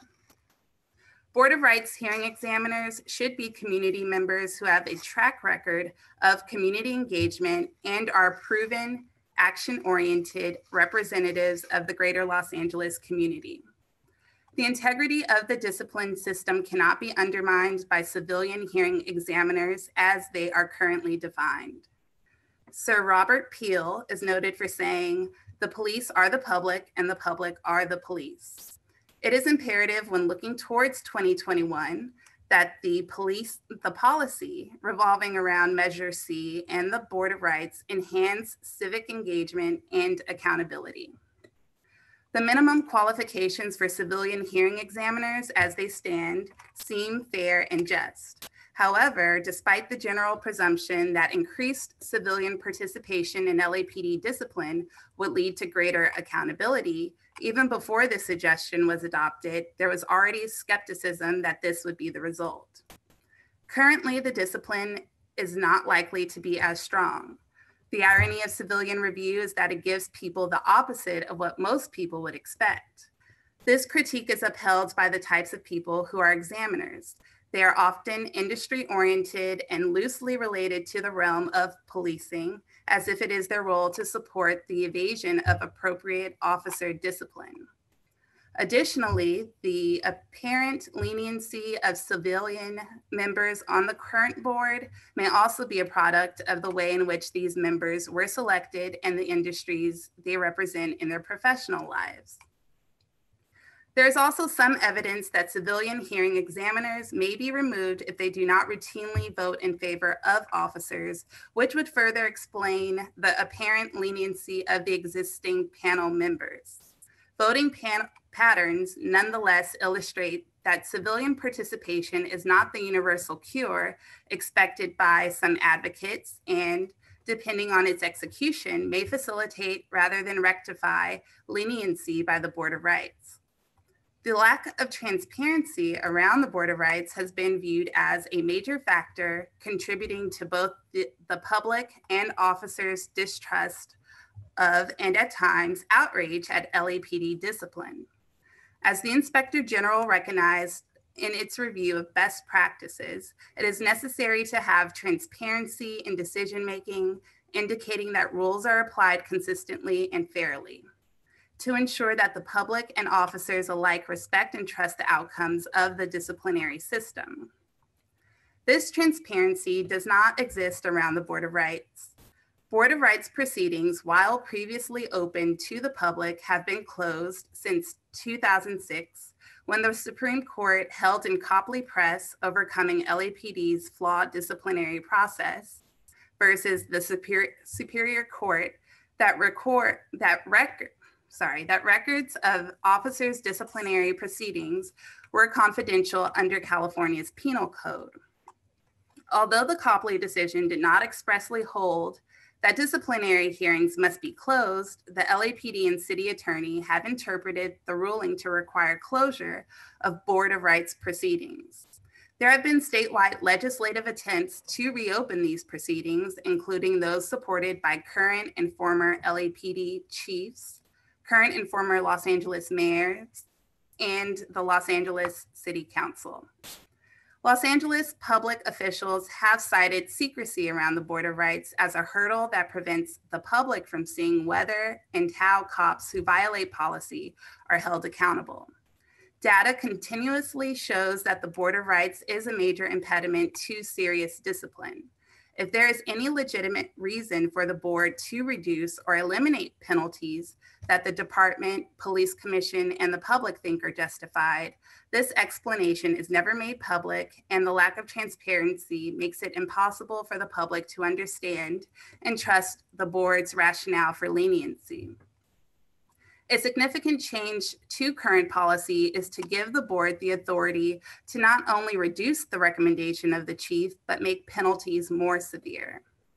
Civilian representatives advised by a board of subject matter experts will couple just seeking. Jessica, your 10 minutes ha- has um, concluded. Okay. Can you just wrap up?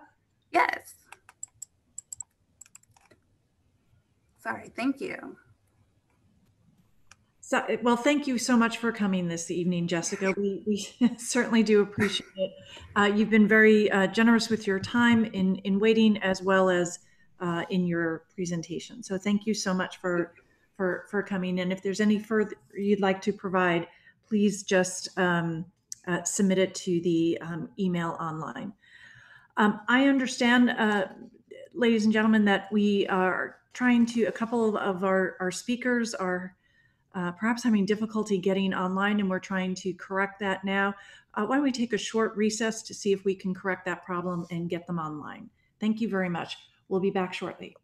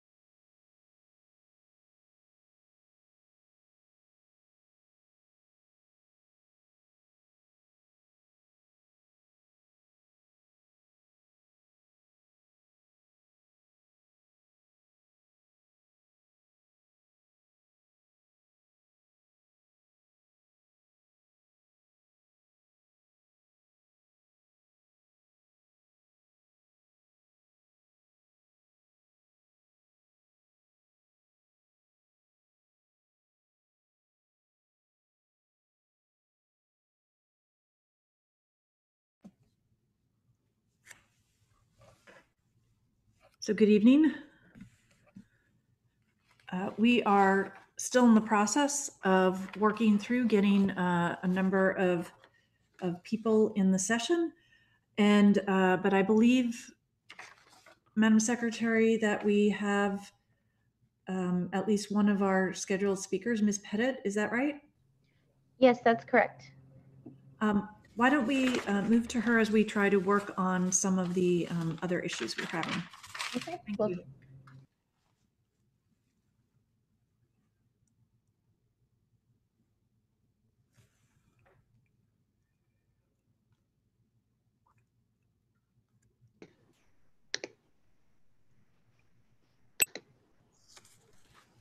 Hi, good evening. Hi, Ms. Pettit. Hi there. Hi, Hi. thank you for joining us tonight. We appreciate it. Um, I think you, you're aware of the, uh, the ground rules. We have 10 minutes on the clock and we welcome all of your comments and your, your input this evening. Thank you for coming and spending some of your time tonight with us. Absolutely. And thank you so much for having me. So, um, you know, I don't know very much about what the nature of our conversation is. Um, but I do believe it's just trying to turn my phone off and it's not letting me. Um, okay.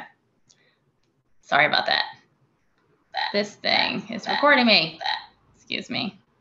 Okay.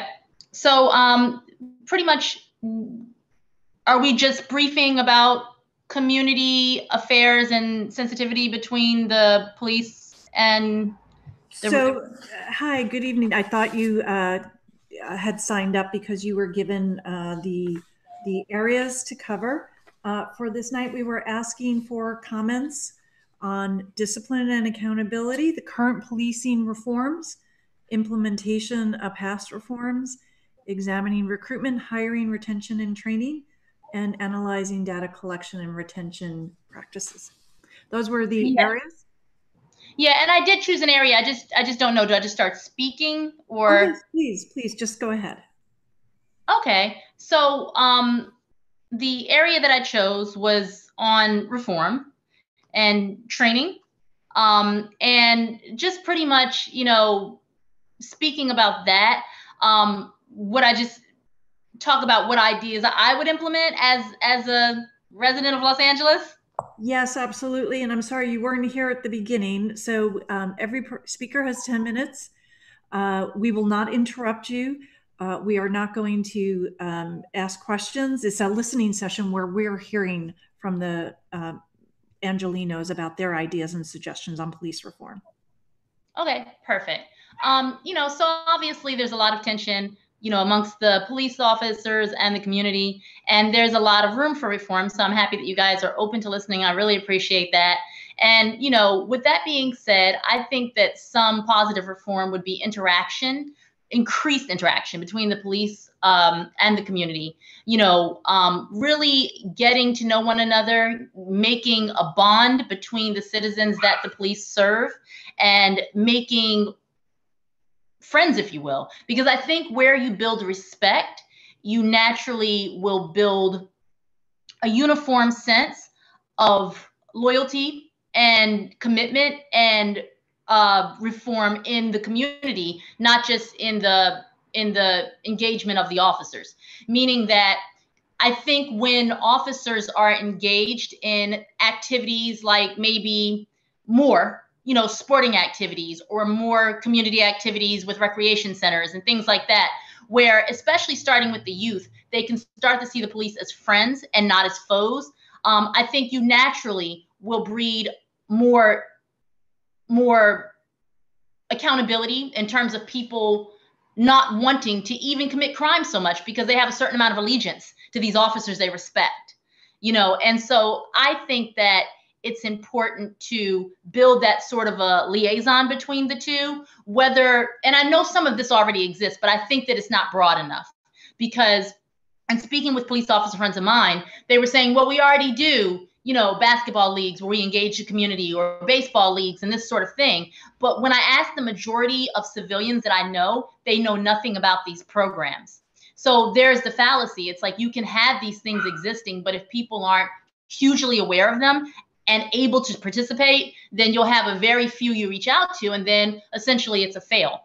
So I think, you know, the way that when I was growing up, the DARE program, police officers used to come into schools, talk about, you know, not doing drugs and these sorts of things. I think there should be more outreach programs in every school, but not talking about not doing drugs necessarily, talking about how we can get together, how we can make harmony between the community and the officers. You know, whether that's engaging the kids at rec centers, the YMCA, the, the schoolyards, you know, baseball teams, fashion shows, things boys and girls will love to do, you know, whatever it is. I think we have to create a friendship. Because what happens in turn is the police won't see the public as expendable animals and as a black community right now. Honestly that's how we feel you know and we felt that way for years. The george floyd thing is interesting and it's wonderful. It's getting so much attention. But growing up um, with my father being a civil rights attorney i've always seen this kind of discourse between the community and the police you know? So i think it's very important to start to see each other as one whole community not as us and them. And i think the way to do that is to engage people of all ages but especially the youth because that's where you have a chance to recreate the thought process you know, so that we see each other as friends, not foes. The the trigger happiness of some police officers, I think, has to do some with the fact that many of them fear us. You know, they see us because of racist values built in their consciousness a long time ago in this country, they see us as scary. They see us as animals. They see us as unruly. They see us as all these falsities that are not necessarily true. And as a result, they're quicker to kill us than they are a dog. you know, and it's it's really it's really it's really disheartening. I've had two close friends that I've lost to the police um, that were professionals, mistaken identity, sorry, you know, sued, paid their families off, but can't bring their lives back. Um, and with, with, you know, you know, with that being said, both of these were nonviolent incidents. One was shot in the back of the head in his car driving. So, you know, I think, you know, this really does affect me and it affects so many black people. So many of us have lost someone dear to us to the police and in situations that could have been easily avoided so I do think that not the community alone needs to see the police as a friend, but the police need to see the community as friends. They need to engage themselves with dis- different ethnicities, not just when they're um, responding to a crime, you know, because perhaps wherever those particular officers are from, as they've grown up or in their own personal homes, they may not be exposed in a positive fashion to people of different races. So I think that if we create more programs where we have more engagement that everyone knows about you know that saturday mornings in this neighborhood that neighborhood this one that one so many neighborhoods you can go play soccer with the police. You can go you know you know play baseball with the police or they're going to come to our school and we're going to have lunch with the police. I think it's so important that we start to know each other. We start to respect one another. We start to really engage one another and not just when there's a crime at hand. I don't know how many minutes i have left how many minutes do I have? you have um, almost three. Almost three. Okay, perfect. So it's it's just like raising a child. You know, when you raise a child, if the response of positive, um, positive reaction and and an affirmation is only there um, is, is never there. And when they do something wrong, is the only time that you discipline them, there's always going to be disharmony between that child and that parent because that parent is never there to give positive reward when the when the child does something good. You know, if the police only step in when we do something wrong, there's always going to be disharmony. You know, so it's very important that positive affirmation is there. When things are good, when things are going great, the police should be there. You know, that's that's how not only will they gain the respect of the community, but the community will gain respect for them. You know, so that is my idea of a start of some sort of reform is really increasing the engagement of positive activity in schools, rec centers, churches, you know, people of all ages, primarily the kids, but people of all ages, really engaging positive community activity, affirming positive values, not just responding when things are negative and crime ridden, and it's only negative disciplinary action in order. I think that probably was about three minutes worth. Very good. Thank you so much for um, coming this evening and sharing your thoughts with us. We truly do appreciate it. Um, and uh, uh, we look forward to seeing you again in the near future. Thank you, Ms. Pettit, very much for coming this evening. Absolutely. Thank you so much for having me, and I appreciate your openness and uh, you know willingness to listen to reform ideas. It, it definitely is what's in need. Thank you so much. Thank you. Thank you. Um, Madam Secretary, could you, um, I understand Mr. Rice is on the line, uh, that we were able to have Mr. Rice join us. While we're bringing Mr. Rice up, I'll just uh, restate uh, uh, the um, procedure that we're using this evening, Mr. Rice, is um, every speaker is getting 10 minutes.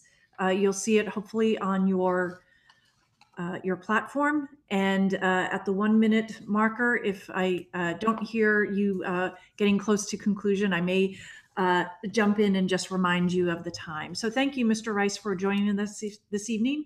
Uh, please, the floor is yours, sir. Yeah, good evening, everyone. first and foremost, I just want to thank you all for hosting this forum, this forum and inviting me to speak. Uh, my name is Tony Rice II, and I am a home and business owner in South LA. My professional background includes more than a decade of experience in both the public and private sectors at companies including Deloitte and Google. My educational background consists of an undergraduate degree from Boston University and two graduate degrees from the University of Michigan. My community involvement includes being the former outreach chair for the Park Mesa Heights Community Council. I'm here today on behalf of my company, Archer Street, which is a technology, strategy, and human capital consulting firm headquartered in Los Angeles. We are a minority, local, and small business certified company that special, specializes in collaborating with uh, government agencies and educational institutions.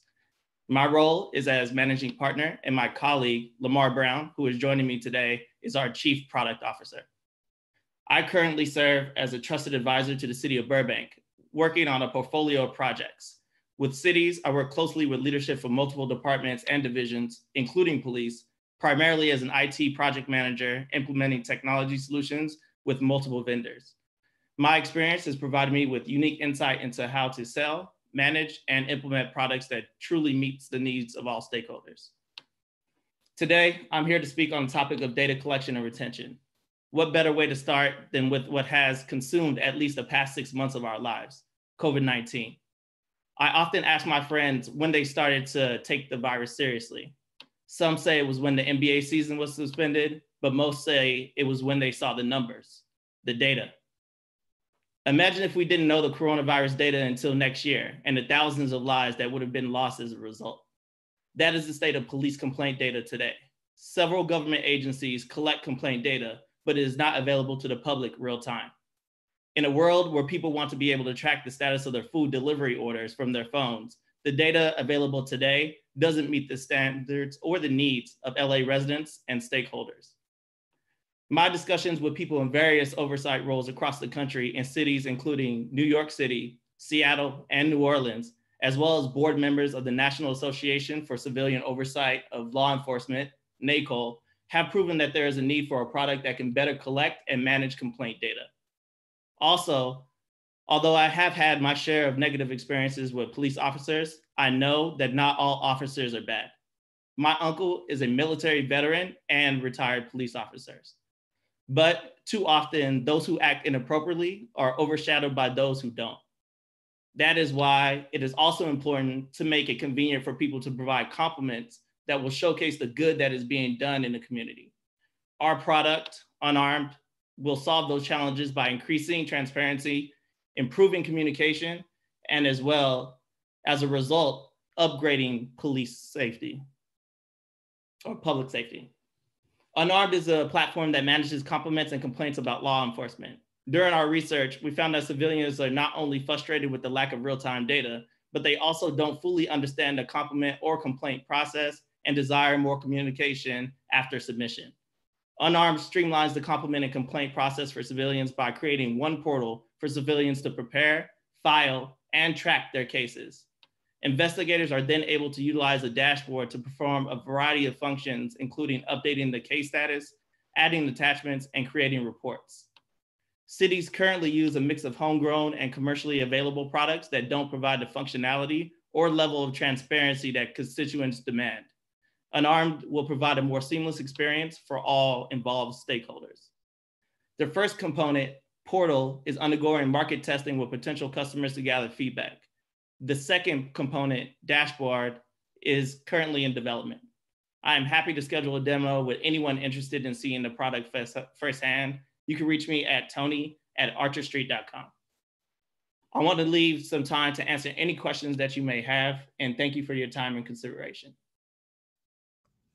Uh, thank you, sir. Um, we don't have any questions. It's a forum for people to present their ideas on, on police reform.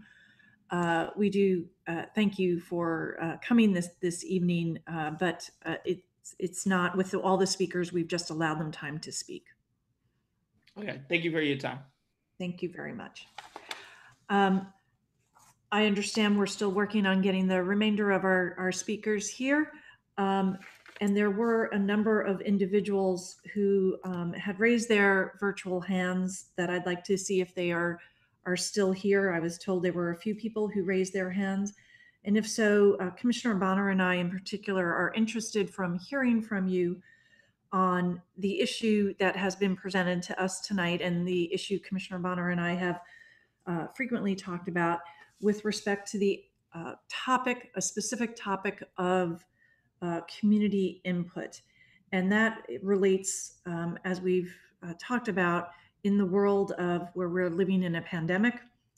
Uh, we do want to get it right. You, uh, some of our, our critics uh, don't believe us, but we do want to hear from people about how to balance the needs to hear from a diverse group of individuals in the community and to at the same time um, um, have appropriate uh, time limits on everything. So for tonight, Madam uh, Secretary, if I could ask you to put the clock at uh, two minutes. And there were a few people that I was told uh, were um, on uh, in the queue to speak. Um, I'm not sure if they're still here. Um, if T, uh, Paula Minor, I believe it is P Minor, um, Audrey or Alexandra Nassif. I may be mispronouncing your name. I apologize. If they are here, please uh, call them in order while we attempt to get the um, um, remainder. You know what? Um, I'm told we were successful in getting one of the other speakers here. In the meantime, if you are a member of the public and wish to speak um, at the end, uh, we'll give you a few moments to collect your thoughts and uh, hear from you.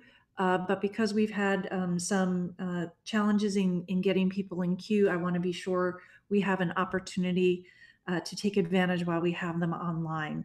Um, but I'll give everyone um, who is in queue a, a chance to uh, think about the specific question we're asking as to community input.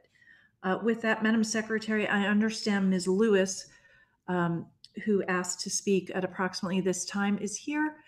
And if you could bring her forward there, I see you've you've included her. Uh, good evening, Ms. Lewis. Um, hi, good evening. Um, welcome uh, to this forum. Uh, we, um, as you know, um, have asked people to come forward who wish to speak on a variety of topics. And I know that that you indicated you wanted to speak about reform proposals. Uh, the format tonight is we've set the clock for 10 minutes uh, that I think you were advised uh, you would have. Yeah. And and uh, we will sit and listen to your ideas and suggestions. Uh, it's not a forum where we'll be asking questions, uh, but we're here to listen to you. Thank you for joining us this evening. We truly appreciate it.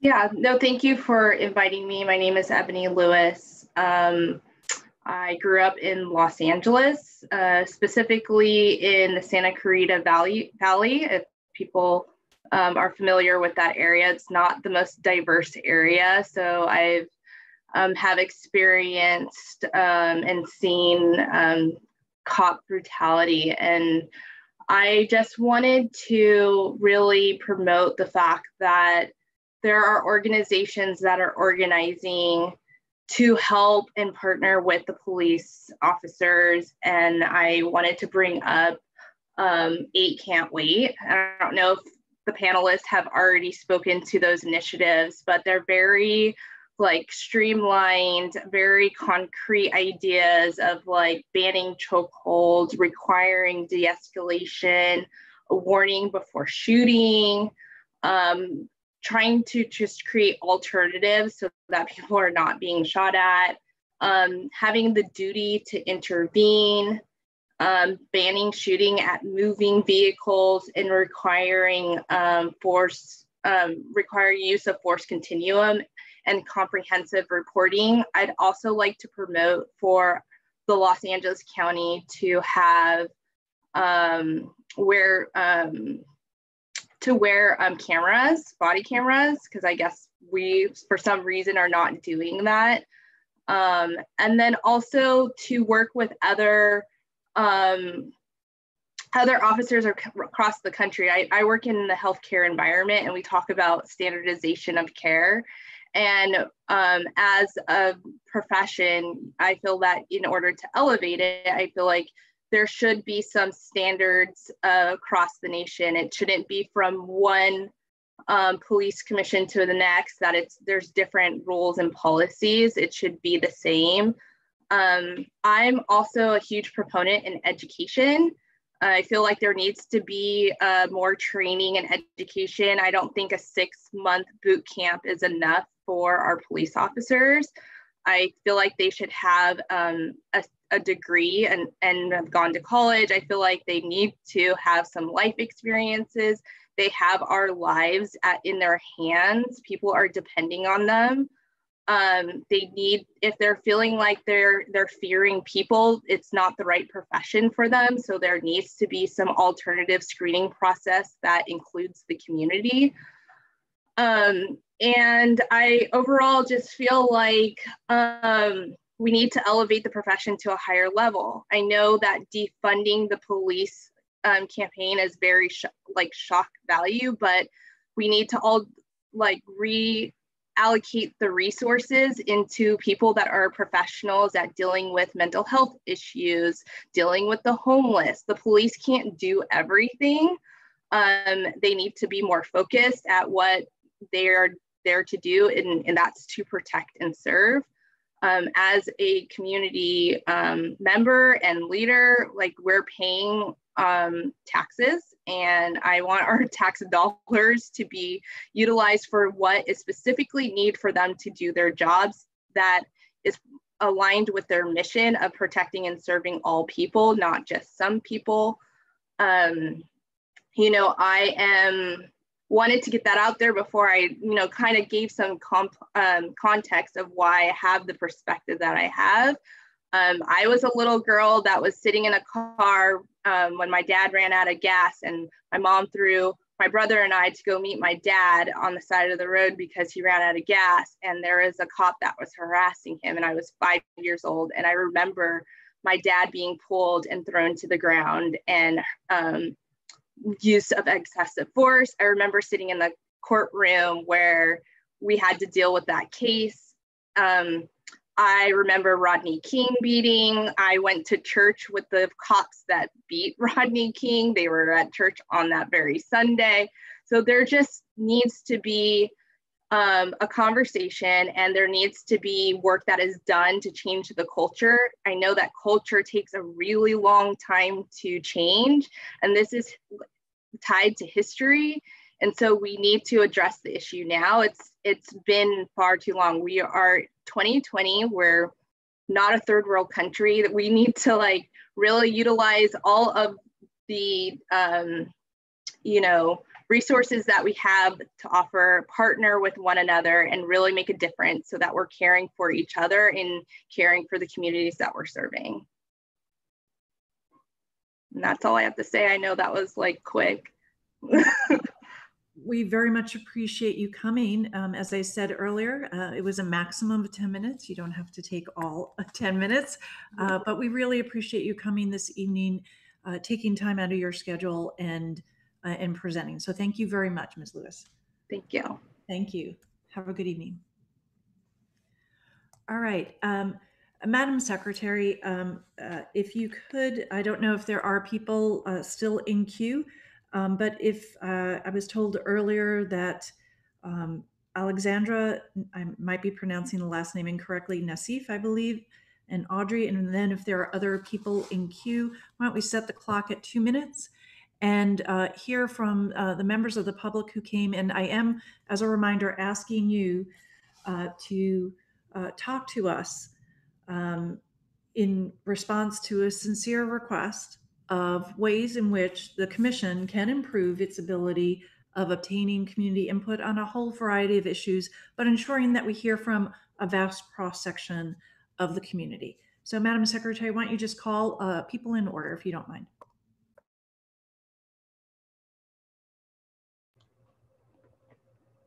Alexandria, you're on.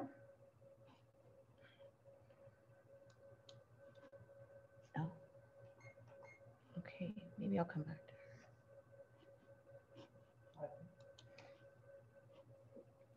her. Okay, we'll come back to her. Okay. We'll go to Audrey.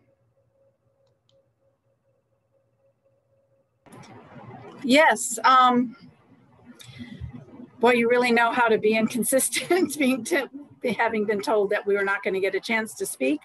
Um, I want to um, say, first of all, you should never shut down family members in terms of the clock. Um, family members of impacted, um, you know, victims of police brutality. Um, the number of attendees would be so much higher if you would, and I don't know if there's some reason you can't do this, but change the time and date of your meetings. So many people, you know, huge things are going on with budgets and and um, defunding and reimagining. Um, it, at the at the board of supervisors and city council, and you just can't expect that people.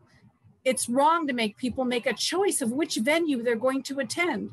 You if you would have a much better representation of community if you would only change the time and date of your regular meetings.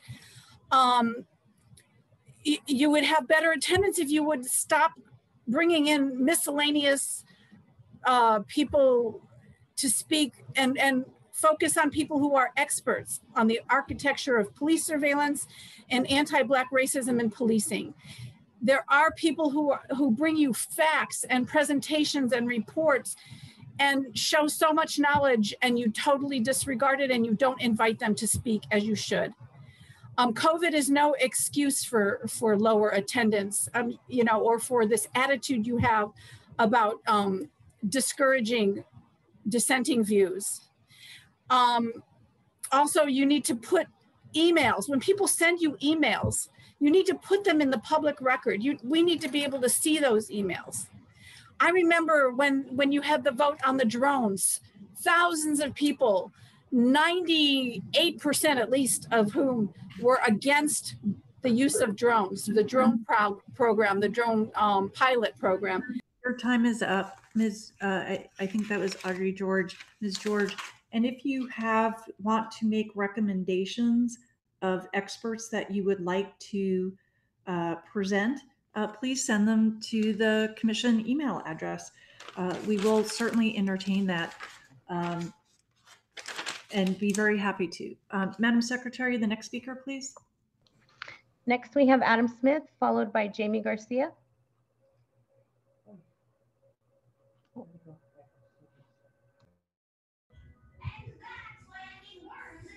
Oh, hey. Um, Mr. McLean, are you a Toronto fan or a Boston fan? Um,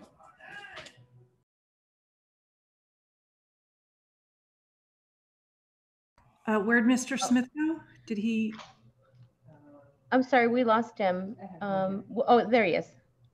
Let's see if we can bring him back, please. I'll reset the clock. Thank you. I just thought Mr. Tefank wanted to see my pretty face, make me a panelist. Um,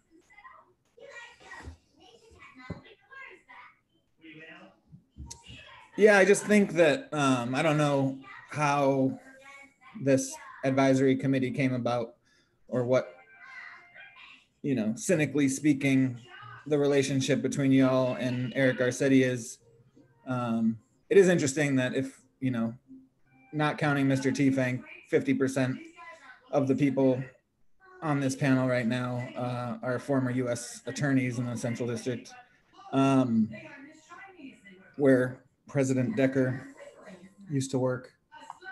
But yeah, I just think that this idea of bringing in an advisory committee when the police commission is called on its website the citizens voice in police affairs it's held up as some national standard of police oversight in this country. Um, the So, fact that Mr.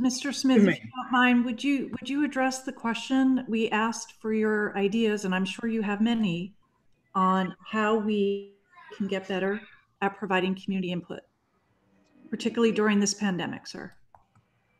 that was the question. That's Yeah. Um, if you dismantle Metro Division, less people will be uh, wanting to ask you questions. If you um, dismantle the police department, um, a lot of racist violence would cease to happen in Los Angeles, and less people would call to complain. Go Celtics. All right, I uh, guess Mr. Smith is done. Madam Secretary, could you call the next person, please? Okay, next we have Jamie Garcia, followed by Marina Vergara. Hi, can you hear me? Hi, yes. So, um, you know, I think we have to reconsider what time these um, advisory committee listening sessions are happening. We're starting at four o'clock and we still have to realize that people are working from home still or in working at the hospitals. I'm a registered nurse. I'm highly involved in the workings of LAPD, understanding surveillance, understanding what's going on and unable to participate and having to, you know, do other things to get involved to be able to participate in this. So that's one thing. But I really want to uplift what Audrey George was also saying in the sense that, um, you know, thinking about when the commission meetings are regularly happening on a Tuesday when nobody can participate with without COVID, it's impossible. Board of Supervisors, um, city councils happening all at the same time. It's like we're getting pulled in multiple directions when there's a massive amount of people who want to participate, who want to be very involved. And this is actually sending the message of like, don't get involved because we're not going to make the space and the time for you to get involved. Second of all, I don't understand who you're inviting. I mean, the whole component of data collection was an absolute insult. I mean, now we're talking about data collection in regards to complaint processes. We have to understand the history of the commission where over thousands and thousands of complaints about biased policing have been filed and none of them have been sustained. And now you want to automate that and act as if we're going to believe that you're going to sustain any kind of process. You do not believe the public. You never have believed the public. So that's not the kind of data collection we want to talk about. What we want to talk about is data collection, data storage, data sharing, predictive analytics, um, algorithmic technologies. We want to talk about the records management system. We want to talk about the new input national incident-based reporting system that's going to happen. And you give the Stop LAPD Spying Coalition 10 minutes to speak about this stuff.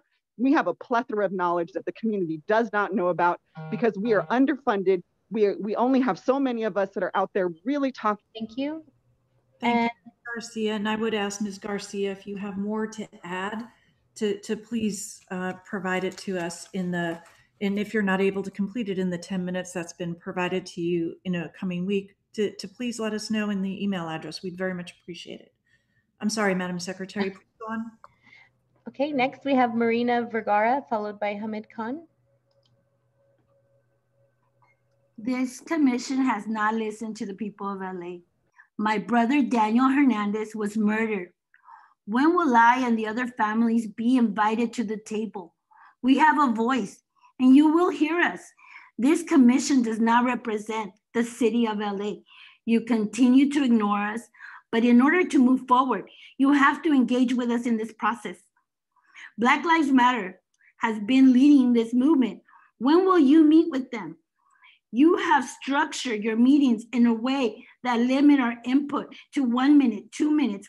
I have to provide context to my brother's to my brother's story every time.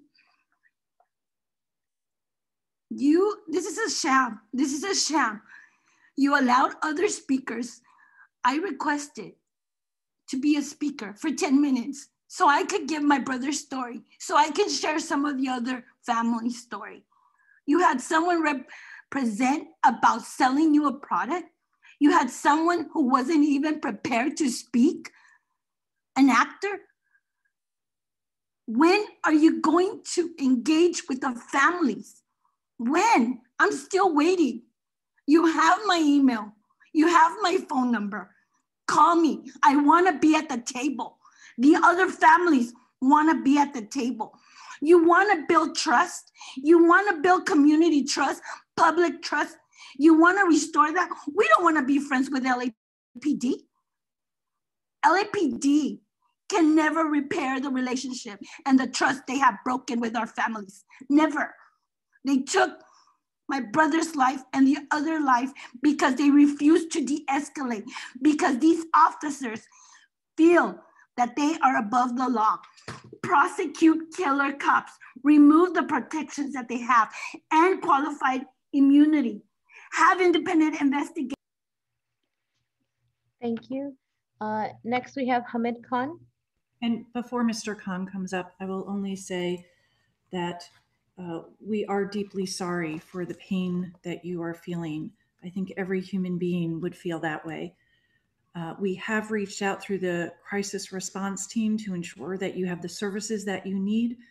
Um, they have reached out multiple times. If you are in need of those services, please know that they are there for you. Please continue, Madam Secretary. Okay, Hamid Khan. Yeah, hi. Uh, I think Marina Vergara's comment just says it all. Uh, the question really is that rather than you sitting over there, Octavio, Octavio Pedroza, Rasha Shields, Byron McLean, Alma Derricks, uh, you should be speaking to the community. The question is, where do you claim the authority what is your knowledge base? How often have you been out in the community? What have you studied about policing or surveillance? What is the level of your knowledge um, as to how um, these things, and I'm speaking about reform, I'm speaking I'm about asking you to breaking reform. the- the question that we asked. Question is coming to the COVID piece as well. So, so just be patient, and that's the whole thing. Because how, this is how you're making a mockery of the whole system. Mr. That's why it is, it was said to that. Answer the question. Yes. So now what you're doing is you've established a system where you are bringing people in and it's it's again making a mockery of people's pain and trauma. And I think at some point this has to stop. And the, the earlier speakers have already talked about it. Earlier speakers talked about that over the last 50 years, you've had these bodies, outside bodies, who have come in to babysit the police commission and nothing has changed. So now you're asking us questions, Ms. Decker, to answer about these things. I mean, what answers are you expecting? It's a community who's seeking answers. It's a community who's seeking that why should we even place an iota of trust in these bodies? So, so this groundbreaking reform effort, I mean, I would want to know what your knowledge base is, Rasha Shields. What do you know about the Sir, surveillance? sir, if you're not How is that data on COVID going to be collected? I, I asked you a records. I'm question going to that. about how How we is that data on COVID policing going to be used? Where is that data on COVID policing going to be shared with? How does Palantir, that is a central data processing system, which is already uh, uh, responsible for mass deportations, going to use that COVID data? What is the relationship with LAPD with with uh, uh, companies like Palantir? What is their relationship with companies like who are doing data processing as well? So, so I think we need to we need to really stop this charade as well. Okay, thank you. Uh, next, we have Paula Minor and. And that's our last speaker, is that correct? Yes, that's correct. All right, uh, we'll go to Ms. Minor, and Ms. Minor, you, you might recall that the question we asked um, is, uh, given the criticisms of not obtaining sufficient community input, we would like your ideas, suggestions on areas where we can get better, particularly in the time of this pandemic. Thank you, Ms. Minor. Yeah, and and I'm having difficulty understanding the question because you're asking how you can get better in times of this pandemic. Pandemic. Um, in my opinion, there was no opportunity for those people who wanted to participate to be allowed to participate. It was by invitation only by the mayor, um, these appointees to this advisory commission, and whoever else the mayor felt would be appropriate. I feel like that a lot of times you are afraid to hear from those members of the community who have been most negatively impacted by what LAPD has done. Um, I feel like that we need to reach out. We need to hear from those people. I know you all are afraid of it because um, there was kind of an open forum in early June where a lot of people I know you opened it up and went to five, six, seven, eight o'clock, but mm-hmm. this is what the people are feeling. They are feeling sad. They are feeling frustrated. They're feeling tired. We talk about LAPD and reforming it over and over again. Nothing changes. There are so many things talked about in commission by Chief Moore that do not seem to reach the officers in the street. You, there is a comprehensive escalation plan developed by LAPD. The officers on the street do not seem to be aware of it. There are all kinds of public relations efforts that go on. These do not reach the officers. Officers still continue to do racial biasing, continue to do harassing, continue ultimately to harm and tarnish the community. So, you know, you ask us, how can you improve? You know, I'm so frustrated at, at this point. I'm not sure if you can improve, but I hope we can. We need to. We need to stop the police violence, the police harassment.